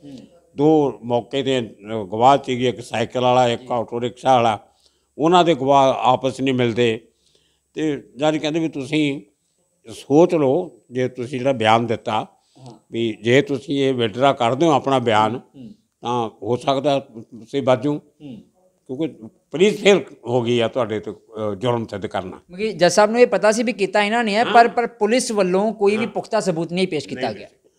ਤੇ ਇਹ ਕਹਿੰਦੇ ਵੀ ਨਹੀਂ ਅਸੀਂ ਤਾਂ ਉਹ ਕਹਿੰਦੇ ਤੁਹਾਡੇ ਖਿਲਾਫ ਕੋਈ ਸਬੂਤ ਗਵਾਹ ਨਹੀਂ ਆ ਤੁਹਾਡੇ ਖਿਲਾਫ। ਜੱਜ ਨੇ ਸਾਰੀਆਂ ਦਲੀਲਾਂ ਸੁਣਨ ਤੋਂ ਬਾਅਦ ਇਹਨਾਂ ਨੂੰ ਇੱਕ ਅਗਾਹ ਕੀਤਾ ਉਹਨਾਂ ਨੂੰ ਤਿੰਨ ਵਾਰੀ। ਕਿ ਤੁਸੀਂ ਸੋਚ ਲਓ ਆਪਣੇ ਬਿਆਨਾਂ ਤੇ। ਤੁਸੀਂ ਤੁਹਾਨੂੰ ਇਹ ਹੱਕ ਹੈ ਕਾਨੂੰਨੀ ਤੌਰ ਤੇ ਕਿ ਤੁਸੀਂ ਚਾਹੋ ਤਾਂ ਆਪਣਾ ਬਿਆਨ ਵਾਪਸ ਲੈ ਸਕਦੇ। ਹੋ ਇਹ ਜੱਜ ਨੇ ਕਿਹਾ। ਤੇ ਜਿੰਦਾ ਸੁੱਖਾ ਨੇ ਕਿਹਾ ਨਹੀਂ ਅਸੀਂ ਤਾਂ ਜੋ ਕਰਨਾ ਸੀ ਕਰਤਾ। ਅਸੀਂ ਆਪਣੇ ਧਰਮ ਦੀ ਬੇਇੱਜ਼ਤੀ ਦਾ ਬਦਲਾ ਅਸੀਂ ਲੈ ਲਿਆ। ਉਹਨਾਂ ਨੇ ਅੱਖਰ ਸੋਧਣਾ ਵੀ ਯੂਜ਼ ਕੀਤਾ ਹੋਇਆ। ਅਸੀਂ ਉਹਨੂੰ ਸੋਧਣਾ ਅਸੀਂ ਸੋਚਤਾ। ਹੁਣ ਅਸੀਂ ਕੋਈ ਇਹ ਤੋਂ ਅਸੀਂ ਆਪਣਾ ਬਿਆਨ ਵਾਪਸ ਨਹੀਂ ਲੈਣਾ। ਸਰ ਤੁਸੀਂ ਕਦੀ ਕੋਸ਼ਿਸ਼ ਨਹੀਂ ਕੀਤੀ ਜਾਣਨ ਦੀ? ਤੁਸੀਂ ਉਹਨਾਂ ਦੇ ਵਕੀਲ ਦੇ ਨਾਲ ਗੱਲ ਕੀਤੀ ਹੋਵੇ ਵੀ ਉਹਨਾਂ ਨੇ ਤਿੰਨ ਮੌਕੇ ਕਿਉਂ ਛੱਡੇ? ਮਤਲਬ ਫਿਰ ਜੱਜ ਨੇ ਕਿਹਾ ਵੀ ਤੁਮ ਦੋ ਦਿਨ ਦਾ ਟਾਈਮ ਦਿੰਦਾ ਉਹ ਸੋਚ ਲਓ। ਅਗਲੀ ਪੇਸ਼ੀ ਦੇ ਜਿੰਦਾ ਨਹੀਂ ਆ ਸਕਿਆ ਕੋਈ ਬਿਮਾਰ ਸੀ ਜਾਂ ਕੁਝ ਸੀ ਉਹ ਨਹੀਂ ਆਇਆ। ਜੱਜ ਨੇ ਫਿਰ ਇੱਕ ਹਫ਼ਤੇ ਇਹਨਾਂ ਦੇ ਵਕੀਲ ਨੂੰ ਸੱਦ ਕੇ ਇੱਕ ਹਫ਼ਤੇ ਦਾ ਟਾਈਮ ਦਿੱਤਾ ਕਿ ਹੁਣ ਮੈਂ ਆਪਣਾ ਫਾਈਨਲ ਆਰਡਰ ਸੁਣਾਉਂਗਾ ਇੱਕ ਹਫ਼ਤੇ ਦਾ ਟਾਈਮ ਤੁਸੀਂ ਲੈ ਲਓ। ਤੇ ਇਹਨਾਂ ਗੱਲ ਕਰ ਲਓ ਹੁਣ ਇਹਨੂੰ ਕਾਨੂੰਨੀ ਤੌਰ ਤੇ ਸਮਝਾ ਦਿਓ ਇਹਦਾ ਕੀ ਬੈਨੀਫਿਟ ਹੈ ਕੀ ਨੁਕਸਾਨ ਹੈ। ਮੇਰੀ ਗੱਲ ਸ਼ਾਇਦ ਉਹ ਨਹੀਂ ਸਮਝ ਰਹੇ। ਉਸ ਤੋਂ ਬਾਅਦ ਵਕੀਲ ਨੇ ਸਮਝਾਇਆ ਤੇ ਜਦੋਂ ਫਾਈਨਲ ਹਫ਼ਤੇ ਦਾ ਕੋਰਟ ਚ ਆਏ ਫਿਰ ਜੱਜ ਨੇ ਪੁੱਛਿਆ ਵੀ ਕੀ ਫੈਸਲਾ ਕੀਤਾ ਤੁਸੀਂ? ਤੇ ਉਹ ਸੁੱਖੇ ਨੇ ਫਿਰ ਕਿਹਾ ਵੀ ਅਸੀਂ ਬਿਆਨ ਵਾਪਸ ਨਹੀਂ ਲੈਣਾ। ਔਰ ਮੈਂ ਕਹਿੰਦਾ ਅੱਜ ਵੀ ਆਪਣੇ ਇਸ ਬਿਆਨ ਤੇ ਖੜਾ।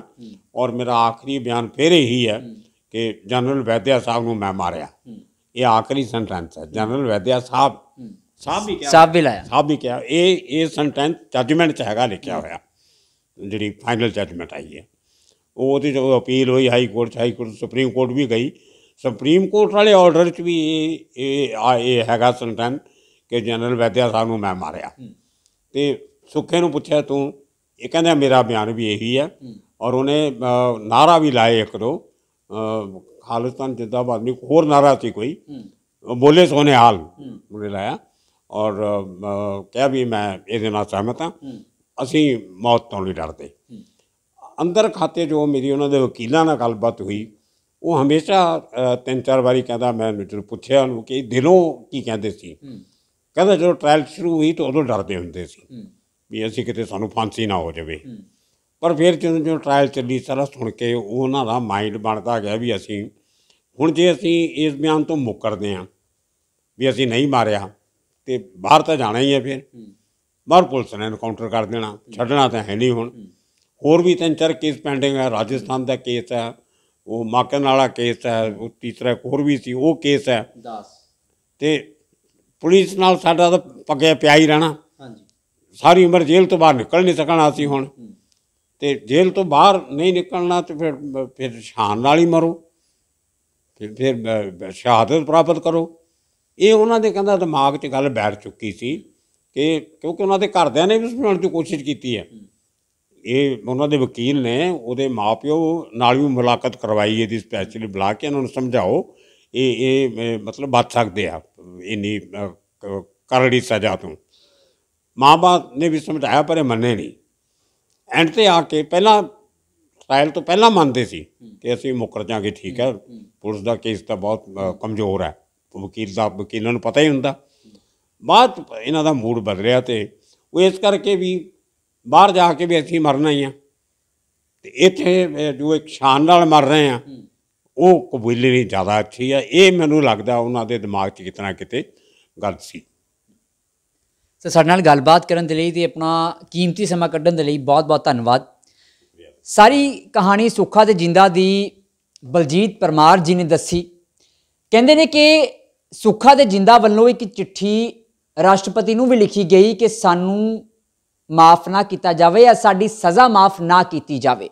ਸਜ਼ਾ ਮਾਫੀ ਲਈ ਤਾਂ ਕਈ ਚਿੱਠੀਆਂ ਲਿਖਦੇ ਨੇ, ਪਰ ਸਜ਼ਾ ਮਾਫ ਨਾ ਕੀਤੀ ਜਾਵੇ ਅਜਿਹੀ ਚਿੱਠੀ ਸੁੱਖਾ ਤੇ ਜਿੰਦਾ ਵੱਲੋਂ ਲਿਖੀ ਗਈ। 1984 ਦੇ ਵਿੱਚ ਬਲੂ ਸਟਾਰ ਆਪਰੇਸ਼ਨ ਹੋਇਆ, ਜਿਸ ਤੋਂ ਬਾਅਦ ਕਈ ਸਾਲਾਂ ਤੱਕ ਸਾਡਾ ਦੇਸ਼ ਖਮਿਆਜ਼ਾ ਭੁਗਤਦਾ ਰਿਹਾ। ਕਈਆਂ ਨੂੰ ਚੁਣ ਚੁਣ ਕੇ ਮਾਰਿਆ ਵੀ ਗਿਆ, ਜਿਨ੍ਹਾਂ ਦੇ ਵਿੱਚੋਂ ਇੱਕ ਜਨਰਲ ਵੈਦਿਆ ਵੀ ਸੀ। ਤੇ ਸੁੱਖਾ ਤੇ ਜਿੰਦਾ ਨੇ ਕੋਰਟ ਦੇ ਵਿੱਚ ਕਬੂਲ ਕੀਤਾ ਕਿ ਉਹਨਾਂ ਨੇ ਮਾਰਿਆ, ਪਰ ਉਹਨਾਂ ਨੇ ਗੱਲ ਇਹ ਵੀ ਕਹੀ ਕਿ ਅਸੀਂ ਆਪਣੇ ਆਪ ਨੂੰ ਦੋਸ਼ੀ ਨਹੀਂ ਸਮਝਦੇ, ਕਿਉਂਕਿ ਅਸੀਂ ਆਪਰੇਸ਼ਨ ਬਲੂ ਸਟਾਰ ਦਾ ਬਦਲਾ ਲਿਆ ਕੈਮਰਾ ਪਰਸਨ ਮਨੋਜ ਦੇ ਨਾਲ ਠਾਕੁਰ ਅਮਨਦੀਪ ਸਿੰਘ ਦਾ ਖਬਰਸਾਰ ਚੰਡੀਗੜ੍ਹ।